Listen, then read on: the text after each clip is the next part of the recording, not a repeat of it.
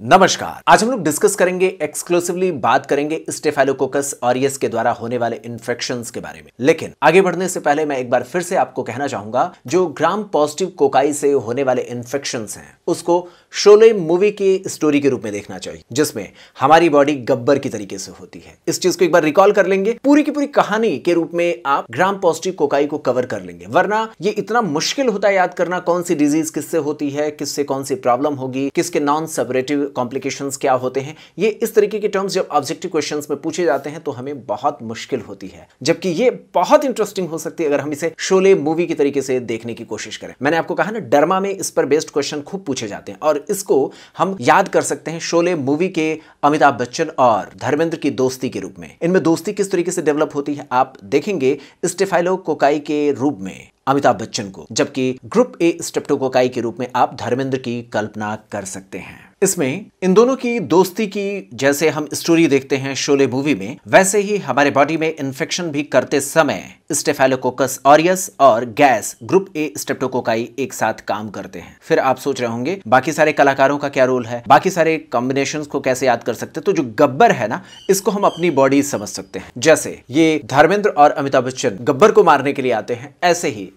Gas और Staphylococcus aureus हमें मारने के लिए आते हैं। इसके अलावा कुछ और भी कहानी हम यहाँ पर सोच सकते हैं। जैसे एक गर्लफ्रेंड होती है अमिताभ बच्चन की, कौन होती है? उनका भी यहाँ पर इमेज देख सकते हैं। और दूसरी गर्लफ्रेंड हम धर्मेंद्र की देख सकते हैं। तो धर्मेंद्र की जो गर्लफ्रेंड है वो हेमा मालिनी है और वैसे ही यहाँ पर देख सकते हैं अमिताभ बच्चन की गर्लफ्रेंड के रूप में जया बच्चन को हम देख सकते हैं। इस बात को कहने का मतलब क्या है? अभी मैं आपको अब पूरी की पूरी स्टोरी ओपन करने की कोशिश करूँगा। पूरी की पूरी जो डिज़ीज़ का पैटर्न है ना ग्राम पौष्टिकोकाई का, वैसे बिना अगर कॉम्बिनेशन के याद करने की कोशिश करेंगे, बहुत घबराएँगे, हर चीज़ें मिक्स हो जाती है और खासतौर पर जब डरमा में पूछा जाता है इससे रिलेटेड क्वेश्चन या फिर पीडिया में इससे रिलेटेड जब क्वेश्चन पूछे जाते हैं तो हमें याद ही नहीं रहता। माइक्रो का तो सारा का सारा इधर से उधर हो जाता है। तो चीज़ों को याद करने के लिए मैंने ये एक स्टोरी बनाने की कोशिश की। एक बार तेज़ी से रिकॉल करते हैं, फिर हम टू द पॉइंट चलेंगे और देखेंगे किस तरीके से ऑब्जेक्टिव क्वेश्चन हम सही कर सकते हैं। देखते हैं यहाँ पर लिख करके, मैंने आपसे कहा, धर्मेंद्र और अमिताभ मिलकर के काम करते हैं। तमाम तरीके के डिजीजेस ये दोनों ही मिलकर के काम करते हैं। अब इसमें थोड़ा सा और स्पेसिफिक होकर के चलें तो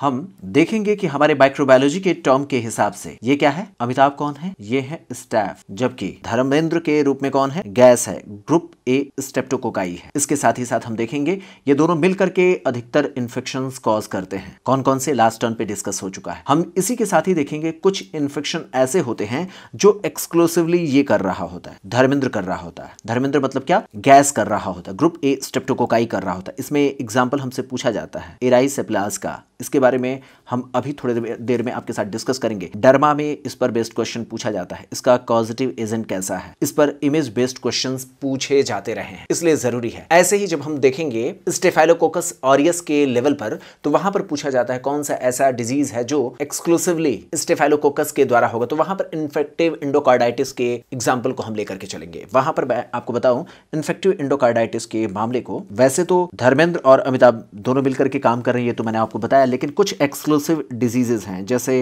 इन्फेक्टिव इंडोकार्डाइटिस का मामला है, जिसमें इंडोकार्डियम इन्वॉल्व होती है। हमारे हार्ट की इंडोकार्डियम इन्वॉल्व होती है। इन्फेक्टिव इंडोकार्डाइटिस के मामलों में स्टैफ ऑरियस ही होता है। उस दौरान आप गैस का नाम नहीं लेंगे। हालाँकि अधिकतर मामलों स्किन के इन्फेक्शन में दोनों के नाम आते हैं, लेकिन कुछ ऐसे हैं जहाँ पर इराइसिप्लाज का, जैसे मैंने अभी आपको एग्ज़ाम्पल लिया। वैसे मैं यहाँ पर एग्ज़ाम्पल ले रहा हूँ। इन्फेक्टिव इंडोकार्डाइटिस की जब हम बात करेंगे तो एक्सक्लूसिवली हम देखेंगे, वहाँ पर स्टेफेलोकोकस ऑरियस का नाम आएगा। यहीं पर देखें, सब एक्यूट बैक्टीरियल इंडोकार्डाइटिस के बारे में जब पूछा जाएगा तो शोले की स्टोरी यहाँ पर हमारे सामने आ जाती है। देखिए, यहाँ पर अमिताभ बच्चन को लेकर के मैंने कहा इन्फेक्टिव इंडोकार्डाइटिस और यह एक्यूट बैक्टीरियल इंडोकार्डाइटिस का मामला होता है। ये सारे क्वेश्चन के रूप में पूछा जाता है, ये एक्यूट बैक्टीरियल इंडोकार्डाइटिस का मामला होता है। यहीं पर देखें, अब सवाल आता है धर्मेंद्र और अमिताभ की गर्लफ्रेंड्स का। तो आप यहीं पर सोचने की कोशिश करें, अमिताभ की गर्लफ्रेंड का नाम क्या रहा है मूवीज़ में कौन है वो? तो वो है जया बच्चन। और वहीं धर्मेंद्र की गर्लफ्रेंड का नाम क्या रहता है? वहाँ पर धर्मेंद्र की गर्लफ्रेंड का नाम रहता है हेमा हेमा मालिनी। मेरे इस बात को बैक्ट्रोलॉजी के लेवल पर पूछने के लिए अगर ये कहा जाए तो क्या हो सकता है? तो आप देखेंगे, अमिताभ की गर्लफ्रेंड जैसे जया बच्चन है, वैसे ही आप कह सकते हैं, स्टैफ की गर्लफ्रेंड का नाम यहाँ पर हम ले सकते हैं। उसी ग्रुप में स्टैफ इपिडर्माइडिस, स्टेफाइलोकोकस इपिडर्माइडिस का। इस बात को कहने का मतलब क्या है? अगर स्टोरी के रूप में याद कर लें तो क्या फ़ायदा मिलेगा? अभी मैं आपको बताने वाला हूँ। वहीं आप देखें हेमा मालिनी को तो वो एक्चुअल में गैस के ग्रुप का ही एक मेंबर होता है, जो यहाँ पर हेमा मालिनी के जैसा समझा जा सकता है, जिसके रूप में हम स्ट्रेप्टोकोकस वेरिडेंस का नाम याद कर सकते हैं। अच्छा तो यहाँ पर क्या हुआ? इन दोनों की गर्लफ्रेंड गर्लफ्रेंड मतलब जया बच्चन, जो स्टेफेलोकोकस इपिडर्माइडिस के रूप में हेमा मालिनी, जो उसके रूप में आप स्टेप्टोकोकस विरिडेंस का नाम यहाँ पर याद कर सकते हैं। ये दोनों ही कमज़ोर हैं, चूँकि आप कह सकते हैं फिजिकली उतने मज़बूत नहीं है। यानी जो जया बच्चन होती और हेमा मालिनी होती, वो उतनी उस मूवी में उतनी फाइटर तो हो नहीं सकती, क्योंकि वो गर्ल है। वैसे आप ये कह सकते हैं, ये जो दोनों के ग्रुप से एक एक जो मेंबर्स लिए गए हैं, कौन से? एक स्टेफेलोकोकस इपिडर्माइडिस आपको पता है नॉर्मल कमेंसल होता है। जब इम्यूनिटी कमज़ोर हो जाती है, तब स्टैफ इपिडर्माइडिस एंडोकार्डाइटिस के मामले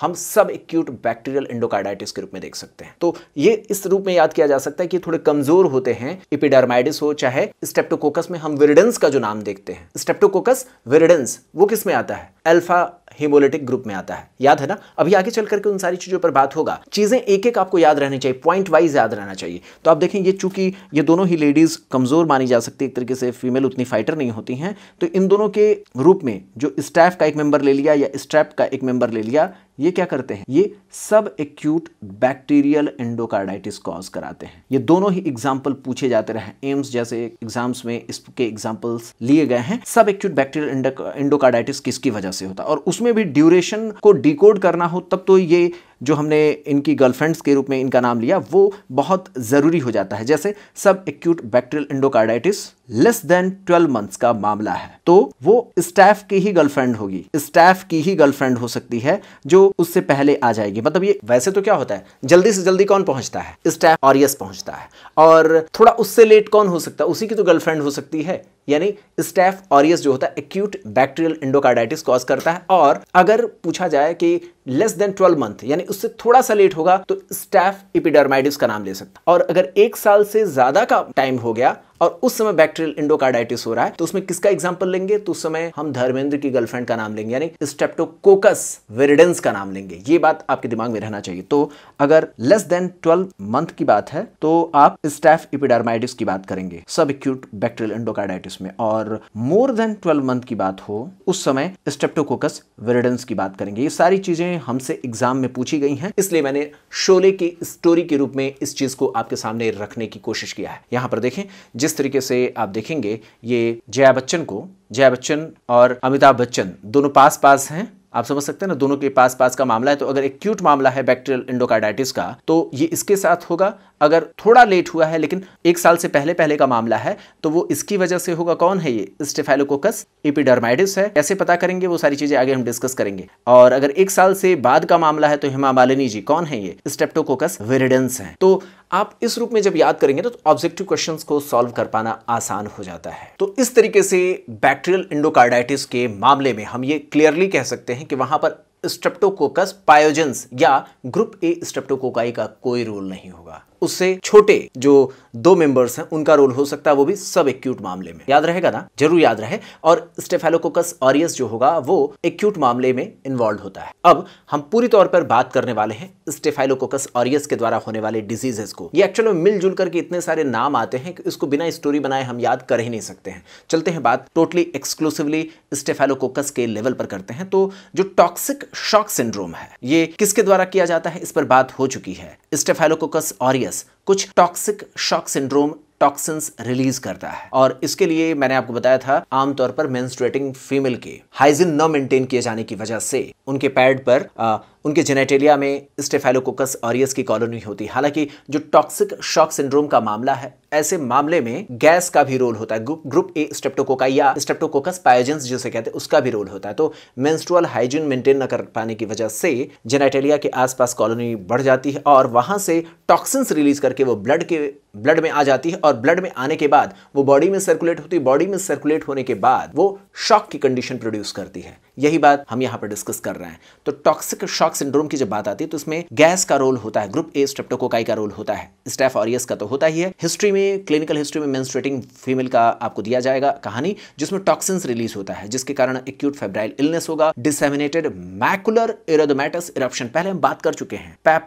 पाल्मो प्लांटर स्केलिंग होगा। मेंटल कंफ्यूजन होगा। डायरिया हाइपोटेंशन फेरेंजाइटिस ये कॉम्प्लेक्स कंडीशंस के साथ फीमेल प्रेजेंट करती है, इस पर बात पहले हो चुका है, इसलिए हम अब यहाँ पर इतना ज़्यादा उस पर डिस्कस नहीं करेंगे। अब इसके आगे की कहानी पर चलते हैं, जो बहुत हद तक स्किन में हेयर फॉलिकल के आसपास होता है, जिसको लेकर के हम कल्पना कर सकते हैं केवल और केवल स्टेफाइलोकोकस के रोल को देखने के लिए। देखें, मैंने आपको बताया ना कि यहाँ पर बहुत सारे मिलकर के काम कर रहे हैं, जिसमें दो बहुत तगड़े वाले दोस्त हैं गैस और स्टेफाइलोकोकस लेकिन स्टेफाइलोकोकस को मैंने आपसे कहा कि इसको थोड़े जगहों पर हम देखते एक्सक्लूसिवली यही काम करता है। ऐसे देखेंगे एक्सक्लूसिवली ये कुछ जगहों पर काम करता है। कहाँ एक्सक्लूसिवली ये काम करते हैं, कहाँ एक्सक्लूसिवली ये काम करते हैं, कहाँ दोनों मिल करके काम करते हैं, ये चीज़ आपको बहुत अच्छे से आना चाहिए, तभी आप डर्मा के पॉइंट्स क्लियर कर सकते हैं। अब डर्मा के पॉइंट पर देखें, जो हमारे हेयर फॉलिकल्स होते हैं हेयर फॉलिकल्स के लेवल पर, जो इन्फेक्शन होते हैं, वो स्टेफाइलोकोकस ऑरियस की वजह से होते हैं। वहाँ पर आप देखेंगे फॉलिकुलाइटिस उसके बाद फ्योरंकल के बारे में देखेंगे। उसके बाद आप कार्बंकल्स के बारे में देखते हैं। हमसे वाइवा में पूछा जाता है। डर्मा में भी पूछ लिया जाता है। कई बार हम क्लिनिकल प्रेजेंटेशन देखते भी हैं। तो उसमें फॉलिकुलाइटिस क्या होता है? हेयर फॉलिकल के लेवल पर लोकलाइज्ड एक इन्फेक्शन है, जो फॉलिकल के लेवल पर पस फॉर्म करने का वहाँ पर आप देखते हैं कंडीशन। वो फॉलिकुलाइटिस है, हेयर फॉलिकल के लेवल पर। अगर यही थोड़ा सा डीप सीटेड हो जाए सब क्यूटेनियस इन्वॉल्व कर सब क्यूटेनियस लेवल पर अगर उसका इन्वॉल्वमेंट थोड़ा डीपर लेयर तक हो जाए, और थोड़ा सा बेस जो है, जो उसका मार्जिन से थोड़ा सा बड़ा हो जाए और इरेडोमेटस उसका मार्जिन हो। मेरी बात समझ पा रहे हैं ना? अगर मैं इसको हेयर फॉलिकल के रूप में देखूँ हेयर फॉलिकल के रूप में देखूँ तो हेयर फॉलिकल से थोड़ा सा डीपर लेयर लेवल पर। हेयर फॉलिकल से थोड़ा सा नीचे के लेवल तक इसका इन्फेक्शन हो और ये साइड वाइज भी थोड़ा सा एक्सटेंशन दर्शाए इरेडोमेटस इन्फेक्शन दर्शाए तो वो पेनफुल कंडीशन हो जाती है जो फ्यूरंकल्स के रूप में देखी जाती है। और इसी तरीके से कई सारे फॉलिकल्स अगर इन्वॉल्व हो गए, कई सारे हेयर फॉलिकल्स के बेस पर इस तरीके से एक्सटेंसिव इन्फेक्शन हो रहा है जो डीपर भी है तो उसको एक्सटेंसिव इंफॉर्मेशन के पैटर्न जिसमें मल्टीपल फ्यूरंकल्स इन्वॉल्व हो रहे होंगे तो उनको कार्बंकल्स कहते हैं। तो ऐसे मामलों में पेशेंट को पेन होता है। तो चलते हैं, देखते हैं यहाँ पर फ्यूरंकल कार्बंकल और फॉलिकुलाइटिस के मामले को। सबसे पहले हम यहाँ पर इमेज में ही देख लेते हैं फॉलिकुलर पायोडर्मास के मामले में, जिसमें हम फॉलिकुलाइटिस की बात करें तो यहाँ पर केवल और केवल हेयर फॉलिकल्स इन्वॉल्व होती है। ज़्यादा मुश्किल नहीं होता ये कंडीशन लेकिन इससे ज़्यादा मुश्किल होता है पेनफुल कंडीशन होती है। ऐसे बॉयल्स जिनका कॉमन नेम होता है, उनके बारे में बात करें, जो फ्यूरेंकल्स होते हैं उसमें हेयर फॉलिकल और हेयर फॉलिकल के आसपास के एरिया में इन्फ्लेमेशन होता है, इसलिए इरेडोमेटस यहाँ पर एक्सटेंशन देखने को मिलता है। इसके अलावा नीचे की ओर ये जो सब टिश्यू होता है, वो भी यहाँ पर इन्वॉल्व होता है। तो सब टिश्यू तक फ्यूरेंकल्स का इन्वॉल्वमेंट और एक्सटेंसिव कंपेरेटिवली एक्सटेंसिव इन्वॉल्वमेंट होता है, अगर आप फॉलिकुलाइटिस से इसकी तुलना करें। कार्बंकल्स के लेवल पर देखें तो यहाँ पर मल्टीपल फ्यूरेंकल्स की बात कही जाती है। अब देखिए डीप सीटेड यहाँ पर इन्फेक्शन है और मल्टीपल फ्यूरेंकल्स का कॉम्बिनेशन जो कार्बंकल्स के रूप में कहा जाता है। ये ज़्यादा पेनफुल होगा, ज़ाहिर सी बात है फ्यूरेंकल से ज़्यादा एक्सटेंशन है। और कार्बंकल को याद करना हो तो आप ये कह सकते हैं ना, जैसे कार्बन की चेन होती है। आपने केमिस्ट्री में पढ़ रखा होगा कार्बन की चेन वैसे ही आप यहाँ पर कार्बंकल्स कह सकते हैं। चेन के रूप में, यानी बहुत बड़ा एक्सटेंसिव फ्यूरेंकल्स का इन्वॉल्वमेंट है। तो इस रूप में इसको याद किया जा सकता है। हमसे डरमा में इस तरीके की केस प्रेजेंटेशन पूछी जाती है। तो आप देखें, ये कहाँ कहाँ इन्वॉल्व करेगा और कैसे होगा। फ्यूरेंकल की बात देखें तो लोकलाइज्ड इन्फेक्शन में ही ये डीप सीटेड फ्यूरेंकल्स होते हैं जो इन्फ्लामेटरी नॉड्यूल्स बनाते हैं और हेयर फॉलिकल के अराउंड आप एक एरेडमेटस एक्सटेंशन भी देखेंगे और ये एक एप्सिस के रूप में इवॉल्व कर जाता है। कार्बंकल्स की बात करें तो ये ज़्यादा एक्सटेंसिव होगा डीपर वैसा ही होगा और ये मल्टीपल फ्यूरंकल्स के फ्यूजन से बनता है। यहाँ सेपरेशन होता है और इसमें मल्टीपल सीव लाइक ओपनिंग आपको देखने को मिलेगी क्योंकि बहुत सारे लेवल पर हेयर फॉलिकल्स इन्वॉल्व हो तो मल्टीपल सीव लाइक ओपनिंग देखने को मिलेगा। इनके साइड्स क्या होते हैं? तो ये nape nape of neck back या थाई के रीजन में जहाँ पर इम्यूनिटी कमज़ोर हो जाती, उन लोगों में इस तरीके के इन्फेक्शन के देखने के चांसेस मिलते हैं। इसके बाद अब हम लोग देखने की कोशिश करेंगे किस तरीके से हमसे क्वेश्चन पूछा जाएगा जो एक्सक्लूसिवली गैस के द्वारा होगा या एक्सक्लूसिवली स्टाफ के द्वारा होगा। इस तरीके के क्वेश्चन पर चलते हैं, देखते हैं। यहाँ पर नीट में क्वेश्चन पूछा गया है। Staphylococcal infection causes all disease except तो आपको पता है इम्पेटिगो इम्पेटिगो के बारे में पिछले लेक्चर में डिस्कस किया है। वहाँ पर स्टाफ और स्ट्रेप्टोकोकस पायोजेंस जिसे हम गैस कहते हैं, दोनों मिलकर के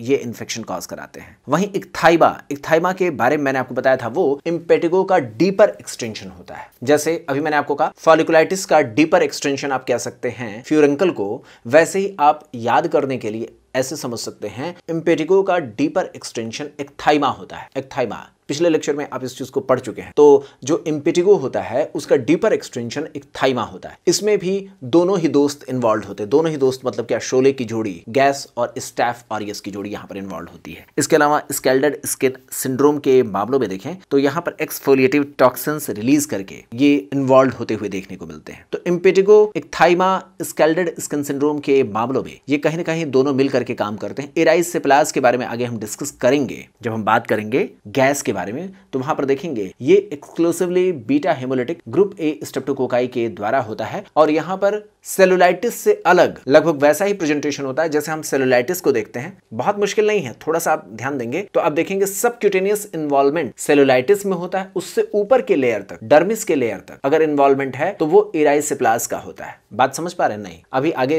या पिछले लेक्चर को अगर आप देखेंगे तो उसमें मैंने इसका कॉन्सेप्ट बनाने की कोशिश किया था। अगर अगले लेक्चर तक चलेंगे तो वहाँ पर इस चीज़ को अच्छे से देख पाएँगे, जहाँ सेलुलाइटिस के मार्जिन क्लियर नहीं होते और वो थोड़ा डीपर होता है डीपर साइड पर होता है सब क्यूटेनियस इन्वॉल्वमेंट के साथ होता है। वहीं इराइसिप्लास के बारे में देखते हैं कि उसके मार्जिन बहुत क्लियर होते हैं और वो डर्मल लिम्फेटिक्स को इन्वॉल्व करके हार्डेंड स्ट्रक्चर के रूप में दिखता है, जिसके मार्जिन चूँकि डर्मल इन्वॉल्वमेंट है, बहुत क्लियर कट आपको रेडिश ये मार्जिन के रूप में वो उभरा हुआ थोड़ा सा नज़र आता है और वो काफ़ी हार्डेंड हो जाता है। तो वो एक इराइसिप्लास के मामले जो होते हैं group A, beta haemolyticus streptococci के द्वारा होते इसमें स्टेफ ऑरियस का कोई रोल नहीं होता। अगले क्वेश्चन की ओर चलते हैं। स्टेफाइलोकोकस कॉजेज ऑल एक्सेप्ट तो इसमें भी देखें, चार ऑप्शन हमारे सामने दिए गए स्कारलेट फीवर स्कारलेट फीवर जो होता है, ये गैस के द्वारा होता है। कैसे होगा? ये स्कारलेट फीवर होता क्या है? इसके बारे में आगे जब हम डिस्कस करेंगे तो उस पर बात करेंगे। स्टेप्टोकोकस के द्वारा एक्सक्लूसिवली होने वाली प्रॉब्लम है। टॉक्सिक शॉक सिंड्रोम दोनों ही मिलकर के करते हैं। कार्बंकल के मामले स्टैफ ऑरियस के द्वारा अकेले होते हैं। साइकोसिस बारबी आप देखेंगे स्टेफाइलोकोकल इन्फेक्शन दाढ़ी रखने वाले लोगों में कई बार ऐसा होता है फॉलिकल्स के आसपास कुछ इन्वॉल्वमेंट लोकल इन्वॉल्वमेंट होता है, जो स्टैफ ऑरियस की वजह से होता है, जिसे हम साइकोसिस बारबी कहते हैं। तो ये रिकरेंट क्रॉनिक पॉस्चुरल इन्फेक्शन होता है, जो स्टैफ के इन्फेक्शन की वजह से होता है। कार्बनकल के बारे में पढ़ी चुके हैं टॉक्सिक शॉक सिंड्रोम के बारे में पिछले लेक्चर में बात हो चुकी है साइकोसिस बारबी के बारे में अभी बता रहा हूँ। तो ये तीनों चीज़ें स्टैफ के द्वारा होती हैं। इसमें टॉक्सिक शॉक सिंड्रोम के बारे में अगर बात करें तो ये थोड़ा सा इसमें गैस भी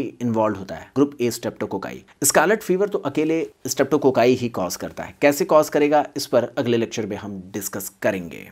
इसमें देखें। एक सवाल और पूछा गया है पीजीआई में। Desquamation of skin occurs in इसमें erythema infectiosum Kawasaki disease scarlet fever और toxic shock syndrome infectious mononucleosis तो पता होना चाहिए कावासाकी डिज़ीज़ में भी स्किन की लेयर उतरती है। कावासाकी डिज़ीज़ इसके बारे में हम बात करेंगे। कावासाकी डिज़ीज़ जब हम वायरल डिजीजेस के बारे में बात करेंगे तो वहाँ पर डिस्कशन होगा। इसमें भी डी स्क्वेमेशन होता है। स्कारलेट फीवर में होता ही है। टॉक्सिक शॉक सिंड्रोम के मामलों में भी होता है। एक्चुअल में कुछ ऐसे exclusive toxins streptococcus group A release करता है, जिसकी वजह से स्कारलेट फीवर होता है। ये पीडियाट्रिक्स का टॉपिक है, जिस जो टॉक्सिन्स की वजह से ही होगा। लेकिन यहाँ पर जो मामले होते हैं, वो एक्सक्लूसिव इसी के द्वारा रिलीज़ किए जाते हैं। उसमें स्टाफ में ऐसा टॉक्सिन्स रिलीज़ नहीं होता है। ये टॉक्सिन्स इरेथ्रोजेनिक टॉक्सिन्स होते हैं, या पायरोजेनिक एक्सोटॉक्सिन्स ए होते हैं। तो इरेथ्रोजेनिक टॉक्सिन्स का जब नाम आएगा तो उसमें हम देखेंगे, वो सिर्फ़ और सिर्फ़ गैस रिलीज़ करता है। वहाँ पर कंडीशन होती है। रैशेज होंगे। टॉन्सिलाइटिस होगा। इस तरीके के मामले के साथ पेशेंट प्रेजेंट करते हैं, जो पीडियाट्रिक्स में हमें पढ़ने को मौका मिलेगा। स्कारलेट फीवर में ट्रायड होता है रैश होता है टॉन्सिलाइटिस होता है और स्ट्रॉबेरी टंग फीवर के साथ प्रेजेंट करता हुआ, ये सारी चीज़ें हमें देखने को मिलती है। सेकेंड डे से रैशेज यहाँ पर फेस से डाउनवर्ड डायरेक्शन में जाते हुए टॉन्सिल्स की स्वेलिंग फीवर और टंग इसमें स्ट्रॉबेरी जैसा दिखने लगता है, ऐसे मामले के साथ प्रेजेंट करते हैं। तो ये बच्चों में होने वाली कंडीशन होती है पीडियाट्रिक्स का टॉपिक है, लेकिन हम यहीं पर डिस्कस करेंगे आपके साथ। अगले लेक्चर में जब मैंने आपको बताया स्टेप्टोकोकस से होने वाले कुछ एक्सक्लूसिव डिजीजेज हैं, जिनको हमें अच्छे से क्रिस्टल क्लियर कर लेना चाहिए। इसलिए इन एग्जाम्पल्स का हमने आपके सामने ऑब्जेक्टिव क्वेश्चन रखने का प्रयास किया है। मेस्टाइटिस के बारे में अब बात करेंगे। देखें, ये सर्जरी का टॉपिक है, जिसमें ब्रेस्ट में इन्फ्लामेशन हो जाता है। इसके भी कुछ तरीके होते हैं। कौन कौन से तरीके होते हैं? एक होता है सब एरियोलर सब एरियोलर आप देखें, एरियोला के जस्ट नीचे है। इसी तरीके से इंट्रा मेमरी भी एक होता है, इंट्रा मेमरी होता है। और तीसरा होता है रेट्रो मेमरी। रेट्रो मेमरी वाले जो मामले होते हैं, यानी आप ये समझें, जो हमारी फेशिया होती है, पेक्टोरल फेशिया, उसके नीच पीछे की ओर अगर कोई मामला है तो हो सकता है वो बोन में इन्फेक्शन की वजह से हो, या फिर वो हो सकता है माइकोबैक्टीरियम ट्यूबरक्लोसिस के इन्फेक्शन की वजह से। जो रेट्रो मेमरी होते हैं, पेक्टोरल फेशिया के पीछे के साइड में अगर कोई इन्वॉल्वमेंट हमें देखने को मिल रहा है, ऐसे मामलों में हम टीबी के बारे में सोच सकते हैं, या फिर ऑस्टियोमाइटिस के बारे में सोच सकते हैं। जबकि अगर ये आगे की ओर फीमेल के ब्रेस्ट में आगे की ओर है सब एरियोलर है, या फिर इंट्रा मेमरी वाले पार्ट्स में इस तरीके के एप्स अगर डेवलप हो रहे हैं तो ऐसे मामले स्टैफ ऑरियस की वजह से होते हैं। और इनमें हमें देना होता है क्लॉक्सासिलिन क्लॉक्सासिलिन ड्रेनेज करके हम क्लॉक्सासिलिन दे करके पेशेंट की कंडीशन को ठीक कर सकते हैं। क्लॉक्सासिलिन के बारे में हम आगे डिस्कस करेंगे। जब बात करेंगे तो देखेंगे वो एसिड रेजिस्टेंट होता है एम को कवर करता है। आपको पता है ना? अधिकतर मामलों में मेथिसिलिन रेसिस्टेंट प्रॉपर्टीज़ शो करने वाले स्टेफाइलोकोकस और ये सब हमारे सामने हैं। तो उनको कवर कैसे हम कर सकते हैं? उसके लेवल पर जब बात करते हैं तो क्लॉक्सासिलिन का नाम आता है। वो सारी चीज़ें जब हम फार्मा में चलेंगे तो डिस्कस करेंगे। मैंने आपको बताया पेनिसिलिन जब बनाया गया तो आगे चल करके उसमें बहुत सारी चुनौतियाँ थी। पेनिसिलिन की एक्टिविटीज़ कमज़ोर होने लगी तो और सारे बनाने की कोशिश की गई, खासतौर पर हॉस्पिटल के सेटअप में। हम देखेंगे एम के मामले बहुत ज़्यादा आते हैं। मेथिसिलिन रेजिस्टेंट हो चुके स्टेफेलोकोकस ऑरियस की कॉलोनीज वहाँ ज़्यादा होती है। तो ऐसे मामलों में, जहाँ पर हमें रिस्क है, हम क्लॉक्सासिलिन देने का प्रयास करते तो देखिए, यहाँ पर सर्जरी का ये टॉपिक है जिसमें इन्फ्लामेशन ऑफ़ ब्रेस्ट और वो भी इन्फेक्टिव इन्फ्लामेशन है। यहाँ पर बच्चे को फ़ीड कराने वाली मदर के सब एरियोलर रीजन में क्रैकल्ड निपल्स के कंडीशन में यहाँ पर स्मॉल एप्सिस बन गया हो। इसी तरीके से इंट्रा मेमोरी है ब्रेस्ट के भीतर है। लैक्टेशन की ज़्यादा मामले इसमें देखने को मिलते हैं। इसमें स्मॉल एप्सिस अगर है तो एंटीबायोटिक्स दे सकते हैं क्लॉक्सासिलिन दे सकते हैं। इसी तरह रेट्रो मेमोरी अगर है तो यहाँ पर ट्यूबरक्लोसिस हो सकता है या ऑस्टियोमाइलाइटिस हो सकता है। अगर इंट्रा मेमोरी के मामले हैं तो इसमें तो आपको पता ही है लार्ज एप्सिस होने पर इंसीजन एंड ड्रेनेज किया जा सकता है। तो ये सारी चीज़ें ब्रेस्ट का इन्फेक्शन अधिकतर मामलों में स्टेफ ऑरियस की वजह से होता है। अब अगले लेवल पर चलते हैं। फ़ूड पॉइजनिंग की बात करते हैं। मैंने आपको कहा स्टेफ ऑरियस से एक्सक्लूसिवली होने वाली समस्याएँ क्या है? शोले की स्टोरी को ध्यान में रखते हुए याद रखिए, अमिताभ बच्चन अकेले क्या कर रहे हैं? धर्मेंद्र अकेले क्या कर रहे हैं? दोनों मिल करके क्या कर रहे हैं? इस तरीके की बातें सोचिए। फिर कभी सोचिए कि अमिताभ बच्चन अकेले फाइट कर रहे हैं और उसके उस दौरान इनकी इनकी अपनी गर्लफ्रेंड तो काम कर ही रही हैं। हेमा मालिनी भी पहुँच गई हैं सहयोग करने के लिए, जो बैक्टीरियल इंडोकार्डाइटिस होता है। जब बैक्टीरियल इंडोकार्डाइटिस होता है तो उस समय धर्मेंद्र बिल्कुल नहीं काम कर रहे होते। गैस बिल्कुल काम नहीं कर रहे होते, ये चीज़ें पता होनी चाहिए। क्रिस्टल क्लियर ये इन्हीं सारी चीज़ों पर क्वेश्चन बनता है। तो मैंने आपसे कहा हेयर फॉलिकल का मामला ब्रेस्ट का मामला, इसके बाद अब हम आपको बताने वाले हैं फ़ूड पॉइजनिंग के मामले। तो फ़ूड पॉइजनिंग पर देखें फ़ूड पॉइजनिंग में प्री फॉर्म टॉक्सिन्स होते हैं, जो मिल्क या मिल्क प्रोडक्ट्स लेने पर होता है। आमतौर पर कोई किसी किसी बच्चे ने गया वो पार्टी में और फ़ूड पॉइजनिंग हुआ जिसमें सिक्स आवर्स से पहले पहले इंक्यूबेशन पीरियड आपको बताया जाए। सिक्स आवर से पहले पहले। ज़ाहिर सी बात है, इसमें प्री फार्म टॉक्सिन्स होते हैं। इसी तरीके के मामले हमें बैसलस सिरस के मामलों में भी देखने को मिलते हैं, लेकिन दोनों के बीच में डिफरेंसेस क्या होता है, उस पर पता होना चाहिए। दोनों की कहानी अलग हमसे पूछी जाए। अगर स्टेफेलोकोकस ऑरियस के टॉक्सिन्स की वजह से होने वाले फ़ूड पॉइजनिंग की बात कही जाएगी तो उसमें मिल्क प्रोडक्ट्स या इन जनरल किसी फ़ूड पॉइजनिंग की बात कही जाएगी। जब बैसलस सिरस से होने वाले फ़ूड पॉइजनिंग की बात कही जाएगी तो उसमें चाइनीज़ फ़ूड का एग्ज़ाम्पल लिया जाएगा। बात याद रहेगा?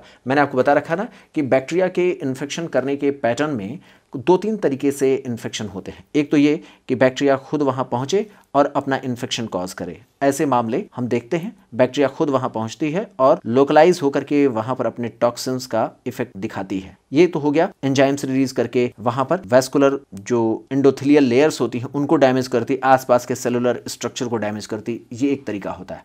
दूसरा तरीका होता है बैक्टीरिया अपने जगह पर रुकी रहती है और ये अपने टॉक्सिन्स को रिलीज़ करती रहती है। ये टॉक्सिन्स जो रिलीज़ किए जाते हैं। ये दूर तक अपना इफ़ेक्ट दर्शाते हैं। ये इस पर बात हो चुका है। ज़्यादा हम डिस्कस नहीं करेंगे। ये टॉक्सिन्स रिलीज़ करती रहती और इसको डिटॉक्सीफाई करने के लिए हमारे पास एक तरीका होता है। देखिए, ये दूर तक जा रहा है ना? और ये टॉक्सिन्स बैक्टीरिया के न रहने पर भी काम करते रहते हैं। ज़ाहिर सी बात है, ये टॉक्सिन्स दूर तक जाकर के अपना इफ़ेक्ट दर्शाएँगे और यही वजह था कि टॉक्सिक शॉक सिंड्रोम के मामलों में इन्हीं टॉक्सिन्स की वजह से हमें इफ़ेक्ट देखने को मिलते हैं। वहाँ टॉक्सिन दूसरे होते हैं। यहाँ पर फ़ूड पॉइजन से रिलेटेड टॉक्सिन्स की बात अगर हम कर रहे हैं एंट्रोटॉक्सिन्स की बात करें तो उसके लेवल पर आप सोचें। ये टॉक्सिन्स आगे जाएँगे इनको आमतौर पर न्यूट्रलाइज करने के लिए। एंटीबॉडीज या फिर हमारे बॉडी में कुछ और एंटीटॉक्सिन्स रिलीज़ होते हैं जो इन्हें न्यूट्रलाइज कर देते हैं। लेकिन अगर ये न्यूट्रलाइज नहीं किया जा सके तो इनके कारण क्या होता है? डायरिया होता है। और वो भी चूँकि पहले से बने हुए हैं फ़ूड प्रोडक्ट्स में ये पहले से पड़े हुए हैं, इस वजह से अगर आपने बैक्टीरिया को किल भी कर दिया हीट दे करके तो भी ये टॉक्सिन्स अपना इफ़ेक्ट दर्शाते रहते हैं। इसके कहने का मतलब ये है कि हीट करने के बावजूद भी food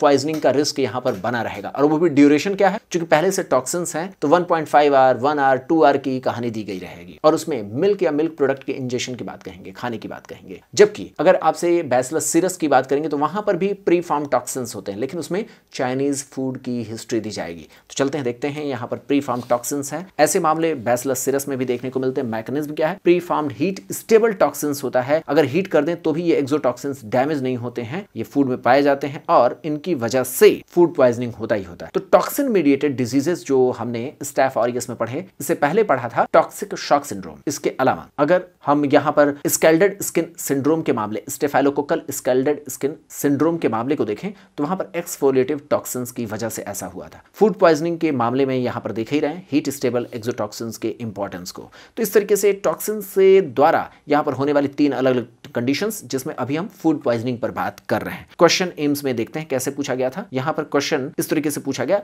the following are characteristic feature of staphylococcal food poisoning except तो इसमें कुछ ऐसी स्टोरी दी गई है जिसमें कुछ इन्फॉर्मेशन है एक्सेप्ट की बात कर रहे हैं। बाकी सारे करेक्टरिस्टिक फीचर हैं। Optimum temperature for toxin production is 37 degree Celsius ठीक बात है भाई नॉर्मल बैक्टीरिया जब मल्टीप्लाई करेगी ग्रोथ करेगी, तभी तो वो टॉक्सिन रिलीज़ करेगी। और जैसे हमें जीने के लिए एक बेहतर इन्वायरमेंट चाहिए, वैसे ही अधिकतर बैक्टीरिया को भी ग्रो करने के लिए थर्टी डिग्री सेल्सियस का ही टेम्परेचर चाहिए होता है। तो वो टेम्परेचर बहुत सही है। इसके अलावा enterotoxic toxins is responsible for intestinal symptoms तो जो डाइट के भीतर टॉक्सिन्स पड़ा हुआ है, वही इंटेस्टाइनल सिम्टम्स के लिए रिस्पॉन्सिबल होता है। ठीक बात है? टॉक्सिन को क्या आप डिस्ट्रॉय कर सकते हैं? बॉयल करके 30 डिग्री सेल्सियस पर थर्टी मिनट्स तक। अगर आप बॉयल करते रहे तो क्या टॉक्सिन डिस्ट्रॉय होगा? नहीं। यही तो प्रॉपर्टी अभी मैंने बताया हीट स्टेबल टॉक्सिन्स होते हैं। इनका incubation period one two six hours बिल्कुल ठीक बात है। ये प्री फॉर्म टॉक्सिन्स हैं। तो एम्स में इस तरीके से क्वेश्चन पूछा गया था। यहीं पर देखें, एक और क्वेश्चन एम्स का ही child after consuming food in a party complains of diarrhoea within 1.5 hours 1.5 hours के भीतर ही डायरिया की कंप्लेंट बच्चे कर रहे हैं और उनकी डायग्नोसिस क्या बन सकती है? द प्रोबेबल डायग्नोसिस तो ये इन्फेक्शन हो सकता है ड्यू टू स्टेफेलोकोकस ऑरियस क्यों? क्योंकि यहाँ प्री फॉर्म टॉक्सिन है। अगर यहीं पर चाइनीज़ फ़ूड की हिस्ट्री देकर के हमसे क्वेश्चन पूछते तो बैसलस सीरस का भी नाम हम ले सकते थे। तो यहाँ पर देखें, वो ऑप्शन नहीं है तो हम इसको ले रहे हैं। यहीं पर स्ट्रेप्टोकोकस की बात करें तो वो फ़ूड पॉइजनिंग नहीं कराता है। मैंने कहा ना, यहाँ पर धर्म बाबू कोई काम नहीं करा रहे हैं। और यहाँ पर टारगेट वही था उन्हीं डिज़ीज़ के बारे में बात करने का जो एक्सक्लूसिवली ये कर रहे हैं। कौन? स्टेफेलोकोकस ऑरियस तीसरे ऑप्शन की ओर बढ़ते हैं, देखते हैं clostridium perfringens fringens fridge fridge fridge जैसा ये लग रहा है। पर फ्रिंजेंस फ्रिज जैसा ये लग रहा है। तो ये ग्राम पॉजिटिव एसलाई होती है जो एन एरोबिक प्रॉपर्टीज़ रखती है। इसमें पर फ्रिंजेंस के मामले में याद रखिएगा, ये फ्रिज में रखे हुए रेफ्रिजरेटेड फ़ूड को लेते हैं, उसके बाद उसको रीहीट करते हैं मीन्स गर्म करके फिर किसी को देते हैं। तो ऐसे मामलों में क्लास्टोडियम परफ्रिंजेंस से होने वाली फ़ूड पॉइजनिंग होती है। एक्चुअली क्या होता है? क्लास्ट्रीडियम परफ्रिंजेंस जो होता है, अपने चारों ओर कोटिंग रखता है और वो आमतौर पर लो टेम्परेचर पर सर्वाइव किए हुए रहता है। चारों ओर कोटिंग होती है स्पोर जैसी स्ट्रक्चर रहती है तो उसमें वो अपने स्पोर की फॉर्म में वो पड़ा रहता है। बाद में क्या होता है, जब उसको रीहीट करते हैं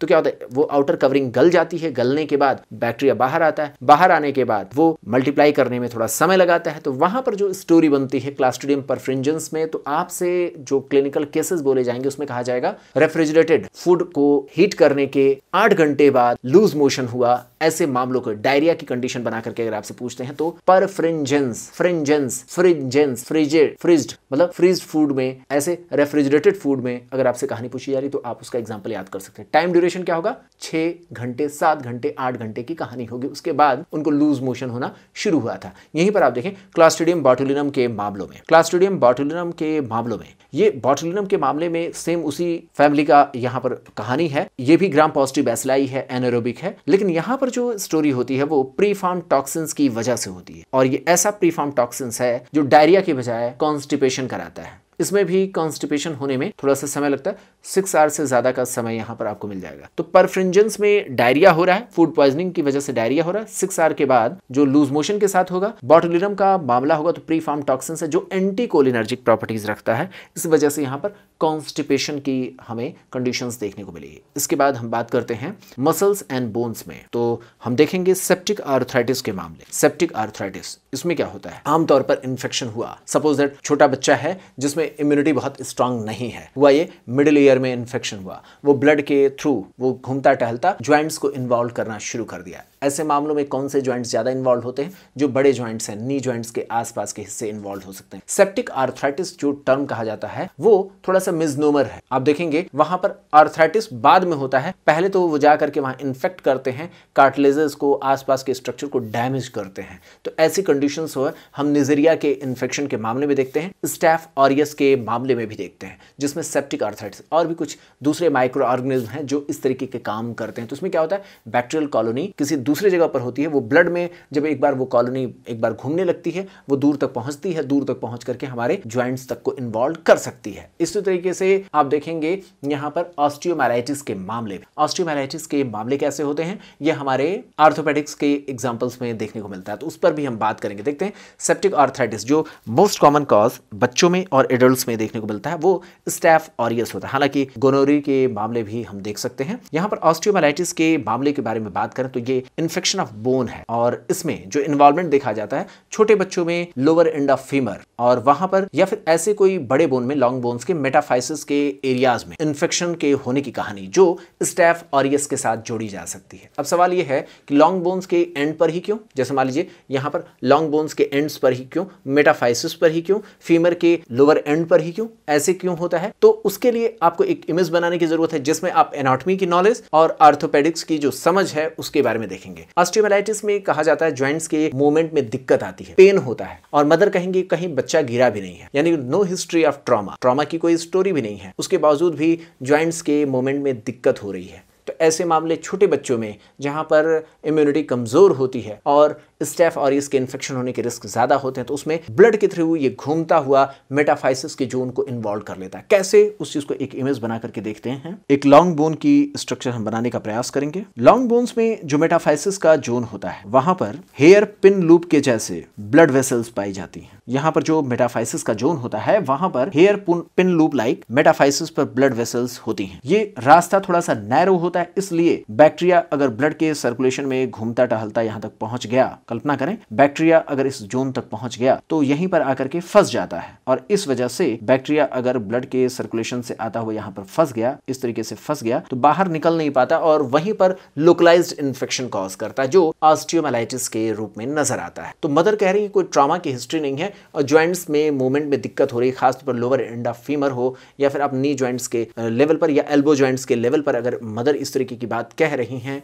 तो आप छोटे बच्चों में ऑस्टियोमाइलाइटिस के कंडीशंस के बारे में सोच सकते हैं। तो देखें, ये मेटाफाइसिस को ही क्यों इन्वॉल्व करता है? क्योंकि यहाँ पर hair pin like blood vessels की क्वाइलिंग होती है मेटाफाइसिस पर और बैक्टीरिया वहाँ पर फंस करके लॉस करता है। मोस्ट कॉमन कॉज क्या है? स्टैफ ऑरियस होता है। अगर ड्रग एब्यूजर बड़े लोगों में भी ये हो सकता है, जो दिन रात आईवी ड्रग एब्यूजर होते हैं। आईवी ड्रग एब्यूजर में कहीं पर भी, आप देखेंगे आईवी ड्रग एब्यूजर की वजह से अगर बैक्टीरिया अंदर एंटर करता है, गंदे तरीके से आप समझ सकते हैं ड्रग एब्यूजर्स में अगर कोई बैक्टीरिया एंट्री करने के ज़्यादा चांसेस पाती तो वो सीडोमोनास होता है। ये सवाल बार बार पूछा जाएगा। आईवी ड्रग एब्यूजर में ऑस्टियोमेलाइटिस हो गया। इसी तरीके से आईवी ड्रग एब्यूजर में बैक्टीरियल एंडोकार्डाइटिस हो गया। कौन सा पॉजिटिव एजेंट हो सकता है? तो वैसे तो इन जनरल हम देखेंगे बैक्टीरियल एंडोकार्डाइटिस के मामले में, चाहे ऑस्टियोमाइलाइटिस के मामले में, इन जनरल स्टेफेलोकोकस ऑरियस का नाम याद रखना है। लेकिन अगर हमारे सामने दूसरी कहानी बनाई गई, हमसे बोला गया कि वो आईवी ड्रग एब्यूजर है तो वहाँ पर सिडोमोनास के मामले हमें याद रखने हैं। सिडोमोनास हमारा ऑप्शन होगा। तो देखते हैं आईवी ड्रग एब्यूजर में सिडोमोनास इस तरीके से सिकल सेल एनीमिया के पेशेंट्स में साल्मोनेला की वजह से ऑस्टियोमाइलाइटिस होने के चांसेस होते हैं। क्लिनिकल फीचर क्या होता है? ऐसे मामलों में फीवर होगा टेंडरनेस होगा एबसेंट या रिड्यूस्ड लिम्ब मोमेंट्स आपको देखने को मिलेंगे। एक और कहानी हम देखते हैं सेप्टिक आर्थराइटिस की। आर्थराइटिस यहाँ नहीं होता मिजनोमर है। इन्फेक्शन ऑफ़ ज्वाइंट्स तक ही फोकस रखें, यहाँ पर आर्थराइटिस अल्डरी स्टेज में नहीं होगा। मोस्ट कॉमन कॉज यहाँ पर स्टेफ ऑरियस होता है सेप्टिक आर्थराइटिस का। यंग एडल्ट में निजीरिया भी हो सकता है। मोस्ट कॉमन रूट ब्लड के थ्रू वहाँ पर बैक्टीरिया की कॉलोनी ग्रो करती है ज्वाइंट्स पर पहुँच करके। ज्वाइंट्स जो सबसे ज़्यादा इन्वॉल्व करते हैं, वो नी ज्वाइंट्स होती है। ये बात मैंने आपको बताया। और यहीं पर ध्यान रखें, अगर कोई चाइल्ड है जो डिक्रीज या अबसेंट ज्वाइंट मूवमेंट के साथ आ रहे हैं, जहाँ पर कोई हिस्ट्री ऑफ़ ट्रॉमा नहीं है, ऐसे मामलों में अधिकतर चांसेस किसके हो सकते हैं? सेप्टिक आर्थराइटिस के या ऑस्टियोमाइलाइटिस के चांसेस हो सकते हैं। इसके बाद मेडिसिन का एक काफ़ी इंपॉर्टेंट टॉपिक होता है रेस्पिरेटरी इन्फेक्शन जिसमें हम कम्युनिटी एक्वायर्ड निमोनिया की बात करेंगे। तो ये देखा गया है, आमतौर पर कम्युनिटी एक्वायर्ड निमोनिया के मामले में अब दोनों दोस्त आ जाएँगे। दोनों दोस्त नहीं आएँगे, खासतौर पर यहाँ पर हमारे पास आ जाएँगे ठाकुर। ठाकुर। ठाकुर कौन? जो हमारे शोले की मूवी में हमारे ठाकुर थे। वो आ जाए। आपको पता ना स्टेप्टोकोकाई के मामलों में, मैंने आपको बताया था अल्फ़ा बीटा गामा तीन तरीके की हिमोलिसिस होती है। बीटा हिमोलिसिस बीटा हिमोलिसिस के मामलों में मैंने आपको बताया था गैस होता है G A S G B S G C S इस तरीके से नाम हमने आपके साथ डिस्कस किए थे। आगे फिर हम डिस्कस करेंगे, घबराने की बात नहीं है। वहाँ पर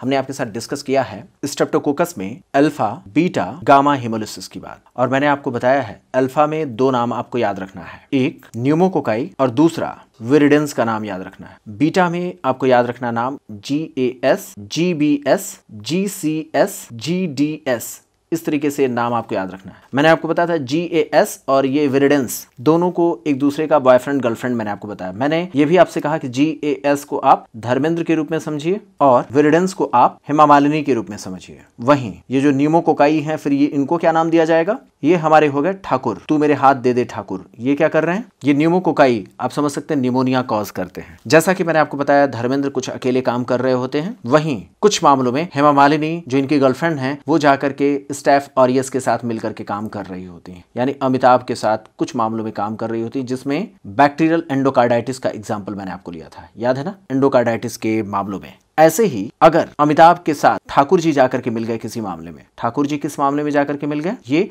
निमोनिया कॉज कराने के मामले में। यानी न्यूमोकोकस और स्टैफ ऑरियस ये दोनों ही मिलकर के कम्युनिटी एक्वायर्ड निमोनिया कॉज करते हैं। ध्यान रहे। छोटे बच्चों में जब कभी भी बात होगी तो हम एच इन्फ्लुएंजा का नाम लेंगे। किसी भी तरीके के इन्फेक्शन में एक छोटा सा हिंट बैक्टीरियल इन्फेक्शन से रिलेटेड अगर हमें लेना है तो वहाँ पर हम एच इन्फ्लुएंजा का नाम ले सकते हैं। वहीं, बड़े लोगों में अगर हमें बात करनी है, खासतौर पर निमोनिया से रिलेटेड तो वहाँ पर हम बात करेंगे निमोकोकाई की। उसके साथ हम जोड़ देंगे स्टैफ ऑरियस के मामले को। एक बार फिर से हम उसी शोले की इमेज को याद करें, जिसमें अमिताभ बच्चन, हेमा मालिनी, यहाँ पर देखें, और इनके कहानी के बारे में। मैंने आपसे कहा, कुछ मामलों में ये अकेले काम करेंगे, कुछ मामलों में ये अकेले काम करेंगे, कुछ मामलों में ये दोनों लड़कियाँ चूँकि कमज़ोर होती हैं, ऐसा थोड़ी देर के लिए आप कल्पना करें, ऐसा कुछ होता नहीं है, लेकिन फिर भी आप ये कहें, उतनी तो फाइटर नहीं हो सकते ना जितना ये दोनों थे। तो ये दोनों मिल करके अमिताभ बच्चन के साथ मिल करके थोड़ा सा माइल्डर लेवल का इन्फेक्शन सब एक्यूट बैक्टीरियल एंडोकार्डाइटिस जबकि ये एक्यूट बैक्टीरियल एंडोकार्डाइटिस कॉज करता है। इसके अलावा ये मिल जाता है शोले के ठाकुर के साथ, और ठाकुर कौन है? आप समझ सकते हैं ना, ठाकुर के साथ मिल करके अमिताभ बच्चन क्या करते हैं? निमोनिया कॉज कराते हैं। यहाँ पर देखें, ये अमिताभ बच्चन और ये ठाकुर जी हैं। ठाकुर क्या करेंगे? ये दोनों मिलकर के कम्युनिटी एक्वायर्ड निमोनिया कॉज करते हैं। छोटे बच्चों में मामला हो तो इन्फ्लुएंजा का नाम लिया जा सकता है निमोनिया के मामलों में। और यहाँ पर ये सारे मिलकर के किसको बर्बाद करना चाहते हैं? गब्बर को। गब्बर कौन है? हमारी बॉडी है। हमारी बॉडी को डैमेज करना चाहते हैं। इस तरीके से हम पूरी की पूरी स्टोरी में गब्बर का रोल अपनी बॉडी को दे सकते हैं। चलिए देखते हैं। कम्युनिटी एक्वायर्ड निमोनिया के मामलों में क्या क्या चीज़ें होती हैं? फीवर होगा ब्लडी स्पुटम होगा मल्टीपल पैची पल्मोनरी इन्फिल्ट्रेट्स होंगे और आमतौर पर इसमें ब्लड कल्चर निगेटिव हो जाता है, ऐसा देखा गया है। तो कम्युनिटी एक्वायर्ड निमोनिया पर आगे जब हम डिस्कस करेंगे निमोकोकाई का एग्ज़ाम्पल लेकर के तो उस समय बहुत अच्छे तरीके से बात करेंगे। जब हम ठाकुर की पूरी स्टोरी सुनेंगे,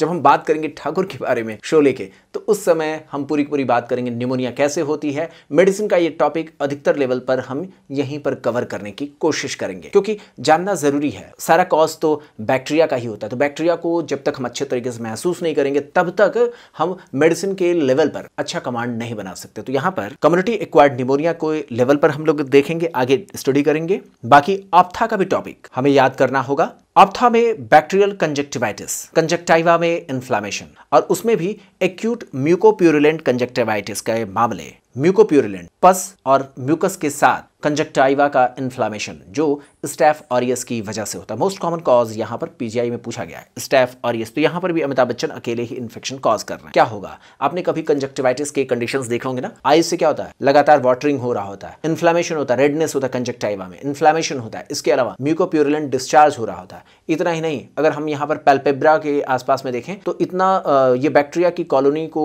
बॉडी का इन्फ्लामेटरी मीडिएटर्स ज़्यादा से ज़्यादा ग्रो न करने पाए। आप रेडनेस क्यों देखते हैं? रेडनेस कभी भी आप देखते हैं तो उसकी वजह यह होती है इन्फ्लेमेशन होता है। हमारी बॉडी इस तरीके के इन्फेक्शन से फाइट करती है। जो म्यूकोप्यूरिलेंट जो डिस्चार्ज हो रहे होते हैं, वो इसी की निशानी होते हैं कि हमने उससे साथ मार किया, हमने उसको कॉम्बैट करने की कोशिश की और उस वजह से कुछ हमारे सेल्स मरे, कुछ बैक्टीरिया मरे जो पस के रूप में नज़र आते हैं। म्यूकोप्यूरुलेंट डिस्चार्ज का कारण वही होता है। अब यहाँ पर देखें तो यहाँ पर सीडो मेम्ब्रेन का फॉर्मेशन होता है पेल्पेब्रल कंजक्टिवा के साइड में और जो आसानी से अगर हम हटाना चाहें तो हटाया जा सकता है। इस तरीके की मेम्ब्रेनस स्ट्रक्चर इसलिए बनती है ताकि बैक्टीरियल कॉलोनी को और ज़्यादा ग्रो करने न दिया जाए। लेकिन अगर क्लिनिकल प्रेजेंटेशन में कहा जाए म्यूकोप्यूरिलेंट डिस्चार्ज है फोटोफोबिया है। देखने में बहुत दिक्कत होती है इन्फ्लामेशन की वजह से। ब्लरिंग ऑफ़ विजन भी होगा वाटरिंग भी होगा कलर हेलोज भी होंगे। तो ये सारी चीज़ें होती हैं। और ये सारी चीज़ें सीडोमेम्ब्रेन कंजक्टिवाइटिस के मामलों में देखने को मिलेगा। इसमें staph aureus staph epidermidis epidermidis आपको मैंने बता रखा है ना, ये कौन है? इनकी गर्लफ्रेंड है। कौन है इनकी गर्लफ्रेंड इसके बारे में आपको पता है जया बच्चन है इपिडर्माइडिस है। स्ट्रेप्टोकोकस हिमोलिटिकस वहाँ पर अगले टॉपिक के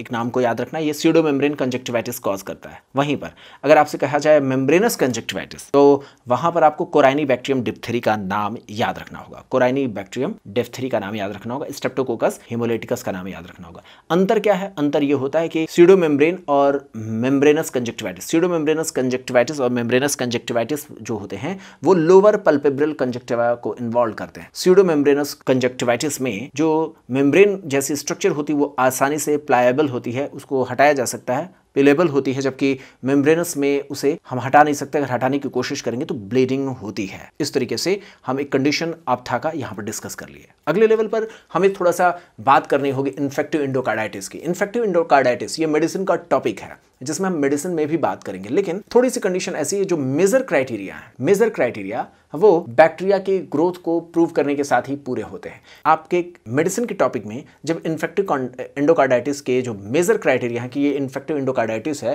तो उसमें एक क्राइटेरिया ये है कि आपको इन्फ्लेमेटरी चेंजेस दर्शाना होगा इंडोकार्डियम में। वो प्रूव करना होगा। दूसरा कंडीशन ये होता है कि आपका ब्लड कल्चर पॉजिटिव आना चाहिए स्टैफ ऑरियस के लिए। ये दो चीज़ें वहाँ पर major criteria bacterial culture positivity भी वहाँ पर मेजर क्राइटेरिया में होती। उस पॉइंट को ध्यान में रखते हुए यहाँ पर हम याद करेंगे, ज़्यादा से ज़्यादा तो वैसे हम कवर करेंगे मेडिसिन में ही। देखते हैं इन्फेक्टिव एंडोकार्डाइटिस को और हमसे पूछा गया है blood culture positive in which infection of staph aureus तो आप देखें, क्या टॉक्सिक शॉक सिंड्रोम या फिर फोर टाइम्स एस या इम्पेटिगो इन सारे मामलों में तो टॉक्सिन्स की वजह से ही ये होते हैं। तो इसमें हमें ब्लड कल्चर पॉजिटिव नहीं मिलेगा। क्योंकि टॉक्सिन्स की वजह से होता है, जबकि इन्फेक्टिव इंडोकार्डाइटिस में ब्लड कल्चर पॉजिटिव होता है, यानी बैक्टीरियमिया होता है। तो ध्यान रखना होगा, आपको बैक्टीरियमिया का मतलब क्या होता है? बैक्टीरिया की प्रेजेंस जबकि सेप्सिस उसकी वजह से वहाँ पर क्या होता है? बैक्टीरिया और सेप्सिस के बीच में डिफरेंसेस होते हैं। बैक्टीरिया ब्लड में बैक्टीरिया की प्रेजेंस को प्रूव करना, जो यहाँ पर ब्लड कल्चर के पॉजिटिव होने के साथ आपको देखने को मिल रहा है। तो मॉडिफाइड ड्यूक्स क्राइटेरिया के तहत जो मेजर क्राइटेरिया है, उसमें आप देखेंगे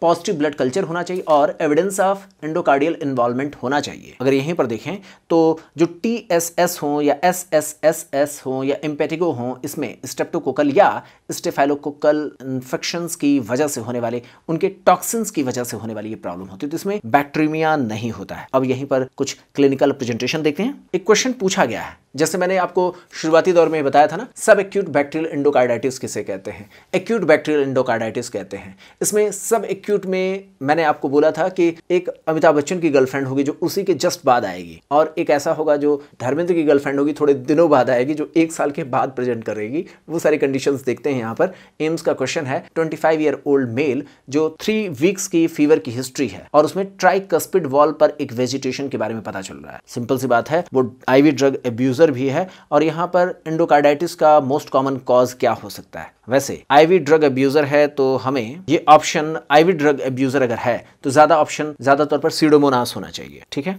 ये स्टैफ ऑरियस यहाँ पर हम नहीं कह सकते हैं कॉन्फिडेंटली नहीं कह सकते। ये सीडोमोनास की वजह से होने वाले आईवी ड्रग एब्यूज़र के मामले होते थोड़ा सा इसको सही करेंगे आप। सी ऑप्शन इसमें होगा। कैंडिडा एल्बिकेंस जो होगा, वो एंडोकार्डाइटिस नहीं कॉज करता है। ये एंडोकार्डाइटिस या मेनिंजाइटिस जैसे मामले कैंडिडा एल्बिकेंस से नहीं होते हैं। स्टेप्टोकोकस वेरिडेंस के मामले अगर आप देखें स्टेप्टोकोकस वेरिडेंस स्टेप्टोकोकस में वेरिडेंस की बात कर रहे हैं तो ये हेमामालिनी की आइडेंटिटी है, जो ओरल कैविटी में पाई जाती है। आगे जब हम बात करेंगे तो देखेंगे। अल्फ़ा हिमोलिटिकस में स्ट्रेप्टोकोकस, निमोनी और विरिडेंस का नाम आता है। ये वेरिडेंस जो होते हैं, ओरल कैविटी में पाए जाते हैं और इनकी वजह से सब एक्यूट बैक्टीरियल एंडोकार्डाइटिस वो भी वन ईयर के बाद की हमें क्लिनिकल प्रेजेंटेशन में स्टेटमेंट मिलेगा, तब ये पॉजिटिव होता है। आईवी ड्रग एब्यूजर है तो सीडोमोनास होना चाहिए। देखें यहाँ पर नेटिव वॉल में अगर इंडोकार्डाइटिस है तो स्टैफ ऑरियस इन्वॉल्व करता है। हालाँकि ये थोड़ा सा कंफ्यूजन क्रिएट करने वाले मामले हैं। इंडोकार्डाइटिस आईवी ड्रग अब्यूजर के मामलों में कुछ जगहों पर स्टैफ ऑरियस मिलेगा, इसीलिए स्टैफ ऑरियस को ऑप्शन के रूप में लिया गया है। हालाँकि कुछ जगहों पर सीडोमोनास का भी नाम मिलेगा तो इसमें हम आगे आपके साथ डिस्कस करेंगे, इसको क्लेरिफाई कर देंगे कि कौन सा ऑप्शन हम ज़्यादा मानेंगे। स्टैफ ऑरियस वैसे ओवरऑल मोस्ट कॉमन कॉज माना जाता है।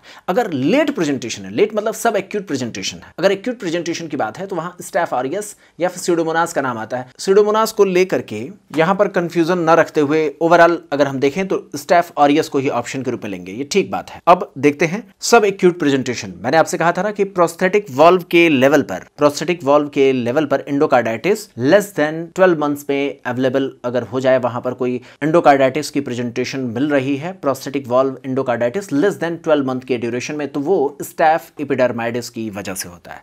जबकि late prosthetic valve endocarditis prosthetic valve लगाने के 12 मंथ्स के बाद, एक साल के बाद अगर प्रेजेंटेशन मिल रहा है तो वो स्टेप्टोकोकस वेरिडेंस की वजह से होता है। ये सब एक्यूट प्रेजेंटेशन है। सबे सब एक्यूट बैक्टीरियल इंडोकार्डाइटिस और इसमें ड्यूरेशन का बड़ा इंपॉर्टेंस है। 12 मंथ से पहले है 12 मंथ्स के बाद है प्रोस्थेटिक वॉल्व लगाने के। तो इसमें सवाल इसी पर बेस्ड एम्स में पूछा गया। Patient with prosthetic valve replacement and he develop endocarditis eight months later अब यहाँ पर सवाल क्या है? इस चीज़ को ध्यान रखिए। यहाँ पर प्रोस्थेटिक वॉल्व के रिप्लेसमेंट के आठ महीने के बाद ये कंडीशन हो रही है। क्या वेरिडेंस होगा? नहीं। मैंने आपको बताया था प्रोस्थेटिक वॉल्व के रिप्लेसमेंट के एक साल के भीतर अगर कुछ होता है तो वो स्टैफ इपिडर्माइडिस की वजह से होता है। तुरंत हो जाए तो स्टैफ और यस वो भी खास तौर नेटिव वॉल पर। जो नेचुरल वॉल होते हैं, वहाँ पर ये इन्वॉल्व करता है। अगर वन ईयर के बाद होगा तो वेरिडेंस का नाम हमें याद रखना है। यहाँ पर मैंने आपको बताया था इन्फेक्टिव इंडोकार्डाइटिस के मामलों में अमिताभ का नाम आपको याद रखना है। अमिताभ जो है दिल लगी ज़्यादा करते ना, वो बहुत सीरियसली लव कर रहे होते किससे? जया बच्चन से। तो इसलिए आप याद रखिएगा, जो स्टैफ ऑरियस होता है, वो ज़्यादा इन्फेक्टिव इंडोकार्डाइटिस कराता है, तुरंत कराता है नेटिव वॉल्व पर कराता है। और उसमें भी खास तौर पर कौन से वॉल्व इन्वॉल्व होते हैं? एऑर्टिक वॉल्व जो होता है, वो मोस्ट कॉमनली इन्वॉल्व होता है। उसके बाद मिट्रल वॉल्व का इन्वॉल्वमेंट होते हुए देखा गया है। इस चीज़ को याद करें, अगर आप इस पूरी स्टोरी को समझने की कोशिश करें स्ट्रोक के कॉन्सेप्ट से लिंक करके तो भी आपको समझ में आएगा मेडिसिन का स्ट्रोक का टॉपिक तो आप देखें बैक्टीरियल कॉलोनी नेटिव वॉल में जो सबसे ज़्यादा इन्वॉल्व होने के चांसेस होते हैं, वो एओर्टिक वॉल पर होता है, उसके बाद मिट्रल वॉल पर होता है। अगर ये मामला आईवी ड्रग एब्यूजर का होता है तो उसमें ट्राइकस्पिड वॉल्व के इन्वॉल्वमेंट के मामले देखे जाते हैं। इसमें नेटिव वॉल है इन्वॉल्वमेंट तुरंत हो जाएगा। मिस प्रेजेंटेशन के कुछ ही दिनों बाद आपको वॉल के साइड में कॉलोनीज होते हुए डेवलप होते हुए देखने को मिलेंगी। इस इमेज को थोड़ा बड़ा करें तो यहाँ पर कॉर्डी टेंडनी जो होते हैं, वहाँ तक ये कॉलोनीज का डेवलपमेंट होते हुए देखा गया है। तो यहाँ पर ये, इस लेवल पर कॉडी टेंडनी को इन्वॉल्व करते हुए तक यहाँ पर कॉलोनीज डेवलप होती हैं। ये कॉलोनीज होती क्या है? ये फ्राइबल बल्कि वेजिटेशन होता है, फाइब्रिन होती है जिसमें बैक्टीरिया होता है इन्फ्लामेटरी सेल्स का कलेक्शन होता है, जो यहाँ पर वॉल्व के पास में होता है। तो एक कलेक्शन है, जो आगे चलकर के इम्बोलाई के फार्म में कहीं और भी जाकर के पहुँच सकता है। इसी वजह से स्ट्रोक भी डेवलप हो सकता है। तो आप देखेंगे ये कॉलोनी रिस्की यहाँ पर तो है ही। इसके अलावा ये स्ट्रोक भी डेवलप कर सकता है अगर इम्बोलस कहीं और ब्रेन में जाकर के लॉस कर जाए। तो आप समझ सकते हैं ये कितना रिस्की होता है। तो नेटिव वॉल्व अगर इन्वॉल्व हो रहा है, नेचुरल वॉल्व पर इस तरीके के मामले हो रहे हैं। तुरंत प्रेजेंट करते हैं इन्फेक्शन के कुछ ही दिनों के बाद ये अगर प्रेजेंट कर रहा है तो नेटिव वॉल्व अगर इन्वॉल्व हो रहा है तो फीवर, इसके अलावा मरमर सुनाई देगा, चूँकि वॉल्व इन्वॉल्व हुई है। इसके साथ ही साथ ये इम्बोलिज्म की घटनाओं के साथ भी जुड़ा हुआ हो सकता है। इसके लिए आप देखेंगे, अगर सही तरीके से मैनेज न किया जाए तो डेथ होना काफ़ी हद तक पॉसिबल होता है। तो आप देखें विद इन डेज़ या वीक्स में डेथ होने के मामले देखे गए एक्यूट मामलों में। ये वाल्व का डिस्ट्रक्शन होता है और इम्बोलाई कहीं भी जाकर के लॉस कर सकता है। ऐसे मामलों में जो नेचुरल वॉल्व पर हो रहा है इन्वॉल्वमेंट है, ये स्टैफ और की वजह से होता है। जबकि सब एक्यूट इन्वॉल्वमेंट के लेवल पर देखें तो वॉल्व तो इन्वॉल्व होगा ही, उसके आसपास के स्ट्रक्चर भी इन्वॉल्व होंगे। इंडोकार्डाइटिस कहने का मतलब आप समझते हैं ना इंडोकार्डियम इन्वॉल्व हो रहा है। इंडोकार्डियम इन्वॉल्व हो रहा है, साथ ही वॉल्व के आसपास के हिस्से इन्वॉल्व हो रहे हैं। तो सीधे तौर पर ये हम पढ़ते हैं पैथो में पढ़ते हैं, हम मेडिसिन में पढ़ते हैं, कौन सा वॉल्व सबसे ज़्यादा इन्वॉल्व होता है? तो एयोटिक वॉल्व सबसे ज़्यादा। उसके बाद mitral valve. IV drug abuser में कौन से वॉल्व इन्वॉल्व होते हैं? वहाँ पर ट्राइकस्पिड वॉल्व इन्वॉल्व होने का रिस्क होता है। ये तीनों ही चीज़ें एग्ज़ाम में हमसे पूछी गई हैं। ड्यूक्स का जो मेजर क्राइटेरिया मॉडिफाइड ड्यूक्स का मेजर क्राइटेरिया क्या है? तो उसमें बैक्टीरिया की कॉलोनी ग्रो करे ब्लड कल्चर में। दूसरा, वॉल्व में इस तरीके के चेंजेस और इंडोकार्डाइटिस के इन्वॉल्वमेंट का हमें एविडेंस मिले। ये मेजर क्राइटेरिया में देखे गए अगर एक्यूट है तो मैंने आपको बताया। सब एक्यूट में क्या होता है? वॉल्व का रिप्लेसमेंट हुआ। वॉल्व के रिप्लेसमेंट के एक साल के भीतर ही वहाँ पर मामला आ गया। तो स्टेफाइलोकोकस एपिडर्माइटिस के मामले देखने एक साल के बाद अगर है तो स्टेप्टोकोकस वेरिडेंस का मामला देखने को मिलता है। तो सब एक्यूट प्रेजेंस थोड़ा लेट है, इसलिए सब एक्यूट कहते हैं प्रीवियसली डैमेज या डिफॉर्म्ड वाल्व है। स्टेफ एपिडर्माइटिस के मामले एक साल के भीतर, एक साल के बाद अगर है तो अल्फ़ा हिमोलिटिक का स्टेप्टोकोकस विरिडेंस का मामला आपको याद रखना है। ये जो मामले हैं सब एक्यूट वाले, ये लो वायरुलेंट बैक्टीरिया की वजह से हैं, इसमें एंटीबायोटिक्स का अच्छा रिस्पॉन्स मिलता है। अब वेजिटेशन जो मैंने आपको बताया, जो ग्रो कर रही है फ्राइबल है बल्कि है डिस्ट्रक्टिव है, जो फाइब्रिन बैक्टीरिया और इन्फ्लामेटरी सेल्स के कलेक्शन से बनी हुई है वॉल्व कस पर ये देखी जाती है और ये एक्सटेंड कर सकती है कार्डी टेंडिनी तक मैंने आपको बताया, जो वॉल्व सबसे ज़्यादा इन्वॉल्व होते, वो एआर्टिक वॉल्व होते और मिट्रल वॉल्व होते हैं। हालाँकि कुछ किताबों में आपको इसका अपोजिट भी मिल सकता है। तो aortic valve followed by mitral valve कुछ किताबों में उल्टा मिल सकता है, लेकिन आईवी ड्रग अब्यूजर में अगर आपसे पूछा जाए तो ये ट्राइकास्पिड वॉल्व को सबसे ज़्यादा इन्वॉल्व करता है। हैरिसर में एआर्टिक वॉल्व को प्रीफर किया गया। अगर आप देखें एंटी माइक्रोबियल ससेप्टिबिलिटी कैसे डेवलप होती है स्टेफोरियस में, जो कि काफ़ी इंपॉर्टेंट हो जाता है माइक्रोबायोलॉजी के पॉइंट ऑफ़ व्यू से। हायर एग्ज़ाम्स में इस पर कई बार क्वेश्चन पूछा गया है तो इस पर भी बात करना ज़रूरी है। एंटी माइक्रोबियल ससेप्टिबिलिटी जो हम यहाँ पर देखते हैं तो जब हमने पहली बार पेनिसिलिन की खोज किया था तो उस समय पेनिसिलिन हम आईवी रूट से देते थे। काफ़ी अच्छा रिस्पॉन्स था। सिफिलिस के मामले बहुत बेहतर रिस्पॉन्स वहाँ मिला था। फ़र्स्ट वर्ल्ड वार के दौरान जो सैनिकों के ट्रीटमेंट में भी इसका बहुत अच्छा रोल रहा। लेकिन बैक्टीरिया जल्दी जल्दी मारी जाने लगी पेनिसिलिन की वजह से तो बैक्टीरिया में थोड़े चेंजेस आए। बैक्टीरिया अब धीरे धीरे अपने भीतर ऐसे चेंजेस लाने लगे जो पेनिसिलिन की स्ट्रक्चर को डिस्ट्रॉय कर सकते थे। इसका मतलब क्या हुआ? पेनिसिलिन कुछ दिनों बाद काम करना बंद कर दिया। क्यों? क्योंकि बैक्टीरिया ने अपने ऐसे स्ट्रक्चर मॉडिफाई किए जिसमें वो पेनिसिलिनेज एंजाइम की एक्टिविटीज़ शो करते थे जो बीटा लैक्टम रिंग को तोड़ देते थे। इसके कारण पेनिसिलिन अब काम करना बंद कर दिया था। सवाल यह है कि इस तरीके का जो रेजिस्टेंस बैक्टीरिया में ट्रांसफ़र हुआ, वो किसकी वजह से हुआ? तो आपको मैंने बता रखा है बैक्टीरिया में एक होता है मेन उसका क्रोमोसोम्स होता है, एक मेन सर्कुलर डीएनए होता है और दूसरा उसी के साथ प्लाज्मिड होता है। तो इस प्लाज्मिड में कुछ चेंजेस उसने किए बैक्टीरिया ने, जिसके कारण उसने एक नए तरीके के एंजाइम्स बनाना शुरू कर दिया जो प्लाज्मिड में था, छोटे में था, छोटू में था, इस तरीके से आप याद रखें। और इसको ट्रांसफ़र कर करके ट्रांसडक्शन के थ्रू बैक्टीरिया ने इस तरीके की इंफॉर्मेशन सारे बैक्टीरिया तक पहुँचा दिया, जिसके कारण पेनिसिलिनेज एंजाइम का प्रोडक्शन सभी ने शुरू कर दिया, जिसके कारण बैक्टीरिया का सर्वाइवल पॉसिबल हो गया। पेनिसिलिन पर वो काम नहीं करते थे। पेनिसिलिन इनइफेक्टिव हो गया। थोड़े दिनों बाद जब हमने ऐसे कंडीशन देखे जिसमें पेनिसिलिन का इफ़ेक्ट नहीं आ रहा है तो फिर पेनिसिलिन के स्ट्रक्चर में बदलाव लाया गया। मेथिसिलिन डेवलप किया गया। क्या क्या डेवलप किया गया? मेथिसिलिन जो पेनिसिलिनेज एक्टिविटीज़ शो करने वाले बैक्टीरिया को भी मार सके। ऐसे प्रयास में जो पेनिसिलिनेज जो नए किस्म के बैक्टीरिया जो पेनिसिलिनेज रिलीज़ करने लगे थे, उनको भी मार सके। इसके लिए हमने क्या किया? हमने बनाया मेथिसिलिन ये अभी भी पेनिसिलिन के ही स्ट्रक्चर में बदलाव किया गया था। लेकिन अब युद्ध बड़े लेवल पर था। इस चीज़ को समझें। इसको एक कहानी के रूप में समझें। जब छोटे लेवल पर कहानी चल रही थी तो इसने छोटे लेवल प्लाज्मिड के लेवल पर चेंजेस किया तो हमने भी एंटीबायोटिक्स के लेवल पर ज़्यादा बड़ा चेंजेस नहीं किया। हमने पेनिसिलिन के ही स्ट्रक्चर में थोड़ा सा बदलाव किया।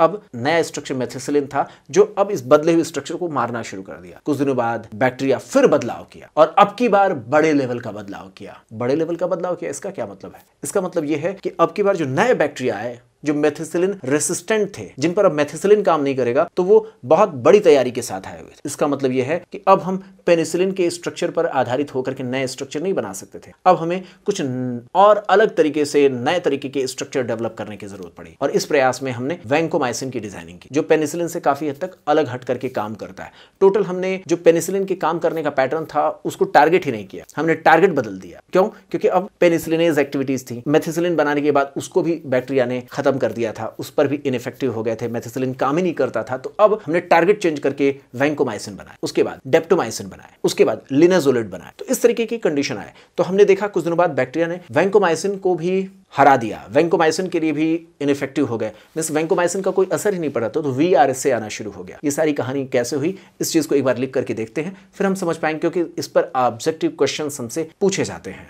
बैक्टीरिया की स्ट्रक्चर बनाते हैं और इसमें एक प्लाज्मिड ले लेते हैं और एक सर्कुलर डीएनए की स्ट्रक्चर ले लेते शुरुआती दौर में जब पेनिसिलिन का इफ़ेक्ट इसके ऊपर हुआ, ऐसा देखा गया कि पेनिसिलिन ने इस तरीके के बैक्टीरिया को मारना शुरू कर दिया डैमेज करना शुरू कर दिया। लेकिन पेनिसिलिन के इस तरीके के एक्शन को बैक्टीरिया ने कुछ दिनों बाद समझा और उसने अपने प्लाज्मिड के भीतर नए तरीके के चेंजेस लाने शुरू कर दिए। प्लाज्मिड के भीतर नए किस्म के चेंजेस की वजह से इसने बाकी सारे बैक्टीरिया को इंफॉर्मेशन देना शुरू कर दिया कि आप लोग अपने भीतर चेंजेस लाइए और मैं आपको नए तरीके के रिस्पॉन्स पैदा करने वाले जीन्स की कोडिंग अवेलेबल करा देता हूँ। और इस तरीके के मामलों में, अब जिनमें नहीं था, उनमें भी कोड पहुँच गया। कैसे पहुँचा? इस तरीके के कोड्स पहुँचाने के लिए उसने ट्रांसडक्शन का सहारा लिया। ट्रांसडक्शन का सहारा लिया। इस तरीके से हुआ क्या? ट्रांसडक्शन के बाद अब ये भी पेनिसिलिनेज एंजाइम को बनाना शुरू कर दिए। तो हुआ ये कि अब पेनिसिलिन का इफ़ेक्ट नहीं होगा, क्योंकि इसके द्वारा रिलीज़ होने वाले जो एंजाइम्स थे, जो पेनिसिलिनेज थे, ये एज एंजाइम है। इसने क्या किया? पेनिसिलिन के स्ट्रक्चर को डिस्ट्रॉय करना शुरू कर दिया। इसके बाद हमने क्या किया? पेनिसिलिन के स्ट्रक्चर में मॉडिफिकेशन कर दिया। क्या किया हमने? हमने नए सिरे से एक नया स्ट्रक्चर बनाया, जो अब इसकी एक्टिविटीज़ के लिए कोई फ़र्क नहीं पड़ता मेथिसिलिन हमने बना दिया। अब फिर से बैक्टीरिया मारे जाने लगे बैक्टीरिया डिस्ट्रॉय होने लगे। अब की बार बैक्टीरिया ने नए सिरे से दोबारा प्रयास किया। क्या किया? अब मेथिसिलिन को रेसिस्टेंस मेथिसिलिन के अगेंस्ट रेसिस्टेंस डेवलप करने के लिए बैक्टीरिया ने बड़ी तैयारी की। क्या किया बैक्टीरिया ने? इसके खिलाफ अब बैक्टीरिया ने नए तैयारी की। उसने अपने मेन क्रोमोसोम्स के भीतर मॉडिफिकेशन करना शुरू कर दिया। मेन क्रोमोसोम्स के भीतर मॉडिफिकेशन करना शुरू कर दिया। इसलिए कहा जाता है, मेथिसिलिन का रेसिस्टेंस जो डेवलप हुआ था, वो क्रोमोसोमल मीडिएटेड था। किसके मीडिएटेड था? क्रोमोसोमल मीडिएटेड था। ये सीधे क्वेश्चन के रूप में पूछा जाता है। एमआरएसए का जो रेजिस्टेंस डेवलप हुआ है, वो किसकी वजह से हुआ? क्रोमोसोमल मीडिएटेड जबकि पेनिसिलिनेज जो एक्टिविटीज़ शो किया था बीटा लैक्टामेजेस जो एक्टिविटीज़ शो किया था, वो किससे मीडिएटेड था? वो मीडिएटेड था आप इमेज में देख सकते हैं। वो मीडिएटेड थे प्लाज्मिड से। इस तरीके से ब्लीटा लैक्टामेजेस एक्टिविटीज़ की कहानी आती है। पूरी की पूरी बात आपको समझ में आनी चाहिए किस तरीके से बैक्टीरिया ने अपने सर्वाइवल को आसान बनाया। कुछ दिनों बाद क्या हुआ? मेथिसिलिन के लिए जो रेजिस्टेंस आया तो हमने नए टारगेट बनाया वैंकोमाइसिन दिया। वैंकोमाइसिन भी कुछ दिनों बाद काम करना बंद कर दिया तो हमने टोटली नए सिरे से टारगेट बनाने शुरू कर दिए, जिसमें हमने डेप्टोमाइसिन डेवलप किया। लिनेजोलिड हमने डेवलप किया और उसके द्वारा हमने वर्षा को कवर किया। देखते हैं इसकी कहानी। स्टेफेलोकोकस आरियस के मामलों में कुछ दिनों बाद क्या हुआ? पेनिसिलिन के लिए रेजिस्टेंस डेवलप हुआ। क्या हुआ? बीटा लैक्टामेसिस या पेनिसिलिनेज एक्टिविटीज़ दर्शाने की वजह से। ये हुआ क्या था? इसमें दो तरीके से ये अपने एक स्पेशल जीन्स को ट्रांसफ़र करने लगे, जो बीटा लैक्टामेसिस एक्टिविटीज़ दर्शाते थे। ये प्लाज्मिड के माध्यम से ट्रांसफ़र किए जाते थे। किसके द्वारा? प्लाज्मिड के द्वारा ट्रांसफ़र किए वाया ट्रांसडक्शन ये क्वेश्चन पूछा गया है। वाया ट्रांसडक्शन ये प्रोड्यूस करते थे। अब ऐसे मामलों में पेनिसिलिनेज एक्टिविटीज़ दर्शाने वाले बैक्टीरिया को मारने के लिए नया पेनिसिलिन बनाना पड़ा मेथिसिलिन बनाना पड़ा। नेक्स्ट ट्रिप जो बनाना पड़ा पेनिसिलिनेज रेजिस्टेंट एक्टिविटीज़ के लिए, वो मेथिसिलिन बनाना पड़ा। अब इसमें भी कुछ दिनों बाद मेथिसिलिन के लिए रेजिस्टेंस आना शुरू हो गया। खासतौर पर हॉस्पिटल के आसपास जो बैक्टीरिया होते हैं ना, वो तमाम तरीके के इन्फेक्शन के साथ आने वाले पेशेंट के साथ जुड़े हुए होते हैं। और आज के डेट में हॉस्पिटल सेटिंग में सबसे ज़्यादा हम एमआरएस के मामले देखते हैं। तो होता क्या हॉस्पिटल सेटिंग में इस तरीके के मामले जो आते हैं, वो एमआरएसए के देखने को मिलते हैं। तो मेथिसिलिन जो रेजिस्टेंस डेवलप हुआ, उसके कारण हुआ क्या क्या पूरी तरीके से बैक्टीरिया ने क्रोमोसोम्स के भीतर बदलाव लाते हुए पेनिसिलिन जहाँ भी जुड़ता था, या मेथिसिलिन जहाँ जुड़ सकता था, वो स्ट्रक्चर ही बदल दिया। मेरी बात समझ रहे, पेनिसिलिन या मेथिसिलिन तक क्या हुआ? पेनिसिलिन के बाद जो मेथिसिलिन आए, ये पेनिसिलिन बाइंडिंग साइट पर ही जाके काम करते थे। बात समझ रहे हैं? अब बैक्टीरिया ने क्या किया? उस पेनिसिलिन के बाइंडिंग साइट को ही चेंज कर पहले तो ये था कि बैक्टीरिया ने पेनिसिलिनेज एक्टिविटी शो किया, फिर मेथिसिलिन को बेवकूफ़ बनाने के लिए उसने बाइंडिंग का साइट ही छोड़ दिया। अब मेथिसिलिन करे तो क्या रहे क्या तो अब हमने नए सिरे से बनाना शुरू किया वैंकोमाइसिन वैंकोमाइसिन का टारगेट ही पेनिसिलिन बाइंडिंग साइट नहीं था। वो किस तरीके से काम करता है? इसके बारे में हम फार्मा में बात करेंगे। तो मेथिसिलिन रेजिस्टेंट जो एमआरएस से डेवलप हुआ था, इस पर क्वेश्चन पूछा गया है। उसमें कैसे हुआ? पेनिसिलिन बाइंडिंग प्रोटीन्स की स्ट्रक्चर ही बैक्टीरिया ने बदल दी। इसके बाद, यहाँ पर जो एम की प्रॉपर्टी इस तरीके से जो आई थी, वो क्रोमोसोमल मीडिएटेड थी प्लाज्मिड से मीडिएटेड नहीं थी। एमआरएसए के मामले जो थे, वो क्रोमोसोमल मीडिएटेड थे, याद रहे। इसके लिए अब वैंकोमाइसिन बनाया गया। वैंकोमाइसिन सेलवॉल इनहिबिटर तो है, लेकिन उसके काम करने का तरीका पेनिसिलिन बाइंडिंग प्रोटीन से बिल्कुल अलग होता है। कैसे होता है? जब हम फार्मा में चलेंगे तो इसके बारे में बात वैंकोमाइसिन पूरी तरीके से सेलवाल के सिंथेसिस के इनहिबिशन के मामले में पेनिसिलिन के साइट का इस्तेमाल बिल्कुल नहीं करता। इस वजह से वैंकोमाइसिन सक्सेस रहा। लेकिन कुछ दिनों बाद करता तो ये भी सेलवाल पर ही काम था। इस वजह से बैक्टीरिया ने फिर से अपने सेलवाल के बनाने के प्रोसेस को चेंज कर दिया। फिर अब हमारे पास तरीका बच गया। कुछ ऐसा किया जाए जिसमें हम मदद अलग तरीके से लें। हम सेलवाल के सिंथेसिस के मामले को छोड़ ही दिए। हमने एमआरएसए के मामले में वीआरएसए के मामलों में नए टारगेट सेट किए। कैसे नए टारगेट सेट किए? ये हम फार्मा में जब चलेंगे तो बात करेंगे। तो यहाँ पर देखिए एमआरएसए के बाद वैंकोमाइसिन आया। सवाल देखते हैं कुछ। नीट में पूछा गया question which of the following is not mechanism for resistant to MRSA तो क्या एमआरएसए के मामले में रेजिस्टेंस क्रोमोसोमली मीडिएटेड होता है? बिल्कुल सही बात है। ये alteration in PBPs penicillinase penicillin binding proteins के जो साइट होते हैं, वहाँ पर अल्टरेशन की वजह से हुआ। बिल्कुल सही बात है, ऐसे ही तो हुआ था एमआरएसए के मामले में रेजिस्टेंस अब यहाँ पर कह रहे हैं MRSA resistance is absolutely beta lactamase independent नहीं, कई बार ये डिपेंडेंट भी होता है। इंट्रेंसिक रेजिस्टेंस इज़ नोन तो ये ये भी बात ठीक है, यहाँ पर नॉर्मल पेनिसिलिन बाइंडिंग प्रोटीन्स के साइट पर मॉडिफिकेशन करने की वजह से ऐसा हुआ। तो ये थोड़ा सा फैक्ट बेस्ड था, जिसमें कई बार क्वेश्चन जो हमसे पूछे जाते हैं, वो इंफॉर्मेशन बेस्ड होते हैं। अगला, नीट में इसी से थोड़ा सा बेहतर क्वेश्चन पूछा गया था। कई बार फैक्ट बेस्ड इंफॉर्मेशन होती है। एक क्वेश्चन ये पूछा गया था all of the following are true about methicillin resistance in M R S A तो इसमें पहला ऑप्शन था resistance produced as a result of altered PBPs ये बात बिल्कुल ठीक है। इसी की वजह से तो हुआ था। Resistance may be produced by hyper production of beta lactamase बिल्कुल ठीक बात है, कुछ मामलों में ऐसा देखा गया। तभी तो हमने पिछले क्वेश्चन में देखा था। तीसरा क्या है? Resistance is primarily mediated or transmitted via plasmid क्या ये बात सही हो सकता है? नहीं, ये बात तो गलत है। ये क्रोमोसोमल मीडिएटेड होता है। चौथा point resistance may be missed at incubation temperature of 37 degree during susceptibility testing ये एक इन्फॉर्मेशन है जिसको याद कर लेना। ये सही स्टेटमेंट है। हमें मिल गया सी ऑप्शन और कई बार हमें ऑब्जेक्टिव क्वेश्चंस देखते समय जनरल इन्फॉर्मेशन पर फोकस करना चाहिए। कौन सा जनरल इन्फॉर्मेशन गलत लिखा गया? तो उसको एक्सक्लूड करके हम पता कर लेते हैं कौन सा ऑप्शन इसमें टिक करना है। तो जैसे आप देखें यहाँ पर सी ऑप्शन बाकी सारे इन्फॉर्मेशन ठीक है। इसको एक बार रीड कर लें। ये बेसिक फैक्ट्स हैं जो नीट में कई बार पूछ लिया जाता है। एक और क्वेश्चन देखते हैं। All are true regarding resistance of penicillin in staphylococcus aureus except penicillinase production is mediated by transduction ठीक बात है, ये तो पहला स्टेटमेंट हमने देखा, यही तो होता है। मेथिसिलिन का रेजिस्टेंस पीबीपीएस में बदलाव की वजह बिल्कुल ठीक बात है। और यहाँ पर information hospital strain mostly produce type D penicillinase नहीं है। टाइप ए पेनिसिलिनेज वो रिलीज़ करते हैं। इसके बारे में ज़्यादा कुछ नहीं कहा जा सकता। पेनिसिलिनेज के टोटल चार टाइप पता चले जो कि हॉस्पिटल स्ट्रेन में टाइप ए सबसे कॉमन होता है। ये एक फैक्ट बेस्ड इंफॉर्मेशन है। बार बार पूछा जाए, कभी संभावना तो नहीं लगती है। और ऐसे मामलों में सिर्फ़ मैं ये क्वेश्चन इसलिए दिया हूँ ताकि आप ये देख सकें, जो जनरल इंफॉर्मेशन है, वो किसमें गलत हो सकती है, उसके आधार पर एक्सक्लूजन की टेक्निक की मदद से यहाँ पर हम ऑप्शन चूज़ कर सकते हैं। तो देखें पेनिसिलिनेज प्रोडक्शन क्या प्लाज्मिड मीडिएटेड है? ठीक बात है। ये सारे ऑप्शन हम आपको ठीक लग रहा है सी ऑप्शन में गड़बड़ लग रहा है तो इस आधार पर आपने इसको टिक कर लिया। इसके बाद क्या होता है? यहाँ पर ट्रीटमेंट ऑफ़ स्टेफाइलोकोकस ऑरियस के मामले को देखते हैं। तो यहाँ पर सीधे तौर पर आपको इस तरीके से समझना ये बेसिक फैक्ट्स है अगर आप चाहते हैं तो शुरुआती दौर में पेनिसिलिन सेंसिटिविटी टेस्ट कर लीजिए। पेनिसिलिन काम करेगा या नहीं करेगा? पेनिसिलिन काम करेगा तो ठीक है। अगर वो नहीं काम करता तो मेथिसिलिन के लेवल पर देख लीजिए। मेथिसिलिन काम करेगा या अगर उसके लिए रेजिस्टेंस है तो फिर एमआरएसए के मामले में आप वेंकोमाइसिन चूज़ कर सकते हैं। वीआरएसए तो नहीं है वीआरएसए अगर है तो आप डेप्टोमाइसिन के लेवल पर जा सकते हैं। अब ये पूछा जा सकता है डेप्टोमाइसिन क्या इसके पहले नहीं यूज़ कर सकते? कर सकते हैं। आप चाहें तो एमआरएसए पे भी यूज़ कर सकते हैं, ठीक है? डेप्टोमाइसिन या लेनेजोलिड आप एमआरएसए के मामले पर भी कर सकते हैं, लेकिन वैंकोमाइसिन से आगे एडवांसमेंट के बाद लेनेजोलिड को चूज़ किया गया या डेप्टोमाइसिन को चूज़ किया गया। कुल मिला कहने का मतलब यह है कि अगर आपके पास कंडीशन है पेनिसिलिन के सेंसिटिविटी पेनिसिलिन यूज़ करिए। अगर उसकी रेजिस्टेंस है मेथिसिलिन की सेंसिटिविटी है मेथिसिलिन यूज़ करिए। उसकी रेजिस्टेंस है तो आप वेंकोमाइसिन यूज़ करिए। वेंकोमाइसिन के लिए रेजिस्टेंस है तो डेप्टोमाइसिन आप यूज़ कर सकते हैं। इस तरीके से आप आगे बढ़ सकते हैं। यहाँ पर फार्मा में जब हम चलेंगे तो देखेंगे किस तरीके से टारगेट बदलते चले गए और हमने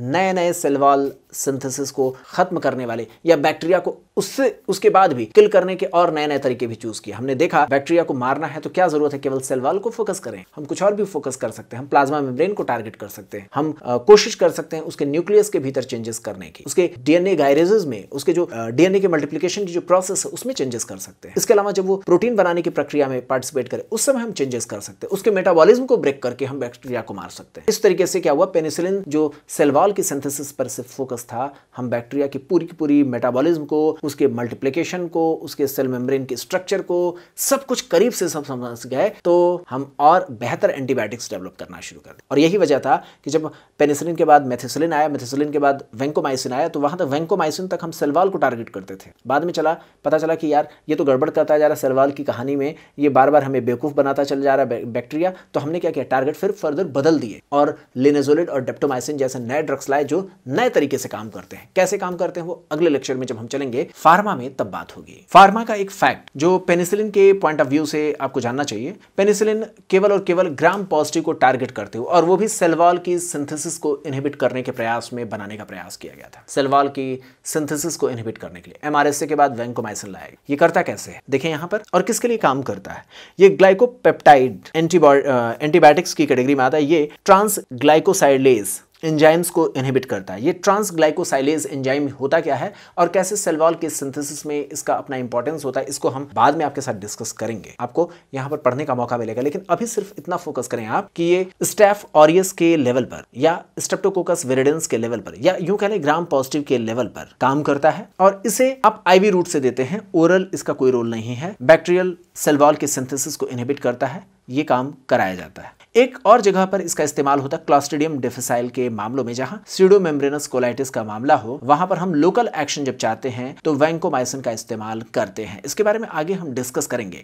एनएरोबिक कंडीशंस में क्लॉस्ट्रीडियम डिफिसाइल के वजह से होने वाले सीडोमेम्ब्रेनस कोलाइटिस को कवर करने के लिए हम यहाँ पर ओरल रूट के लिए हम प्रीफर करते हैं। सीडोमेम्ब्रेनस कोलाइटिस के मामले में क्वेश्चन पूछा गया, इसलिए आपको याद रहना चाहिए। वैसे ये आमतौर पर आईवी रूट से ही दिया जाता है। एकमात्र ओरल कंडीशन है वो सीडोमेम्ब्रेनस कोलाइटिस को ठीक करने के मामले में। वेंकोमाइसिन करता क्या है? ग्लाइकोपेप्टाइड एंटीबायोटिक्स की कैटेगरी है। सेलवाल को इनहिबिट करता है, लेकिन उस जगह पर जाकर के नहीं, जहाँ पेनिसिलिन बाइंडिंग प्रोटीन का जो साइट होता है, उस साइट पर नहीं। ये ट्रांस ग्लाइकोसाइलेज एक्टिविटीज़ को इनहिबिट करके होता क्या है? इसके बारे में हम आगे बात करेंगे। इसमें वेंकोमाइसिन का अगर कोई दूसरा भाई बंधु आपसे पूछा जाए तो उसकी कैटेगरी में आपको टीकोप्लानिन का नाम याद रखना है।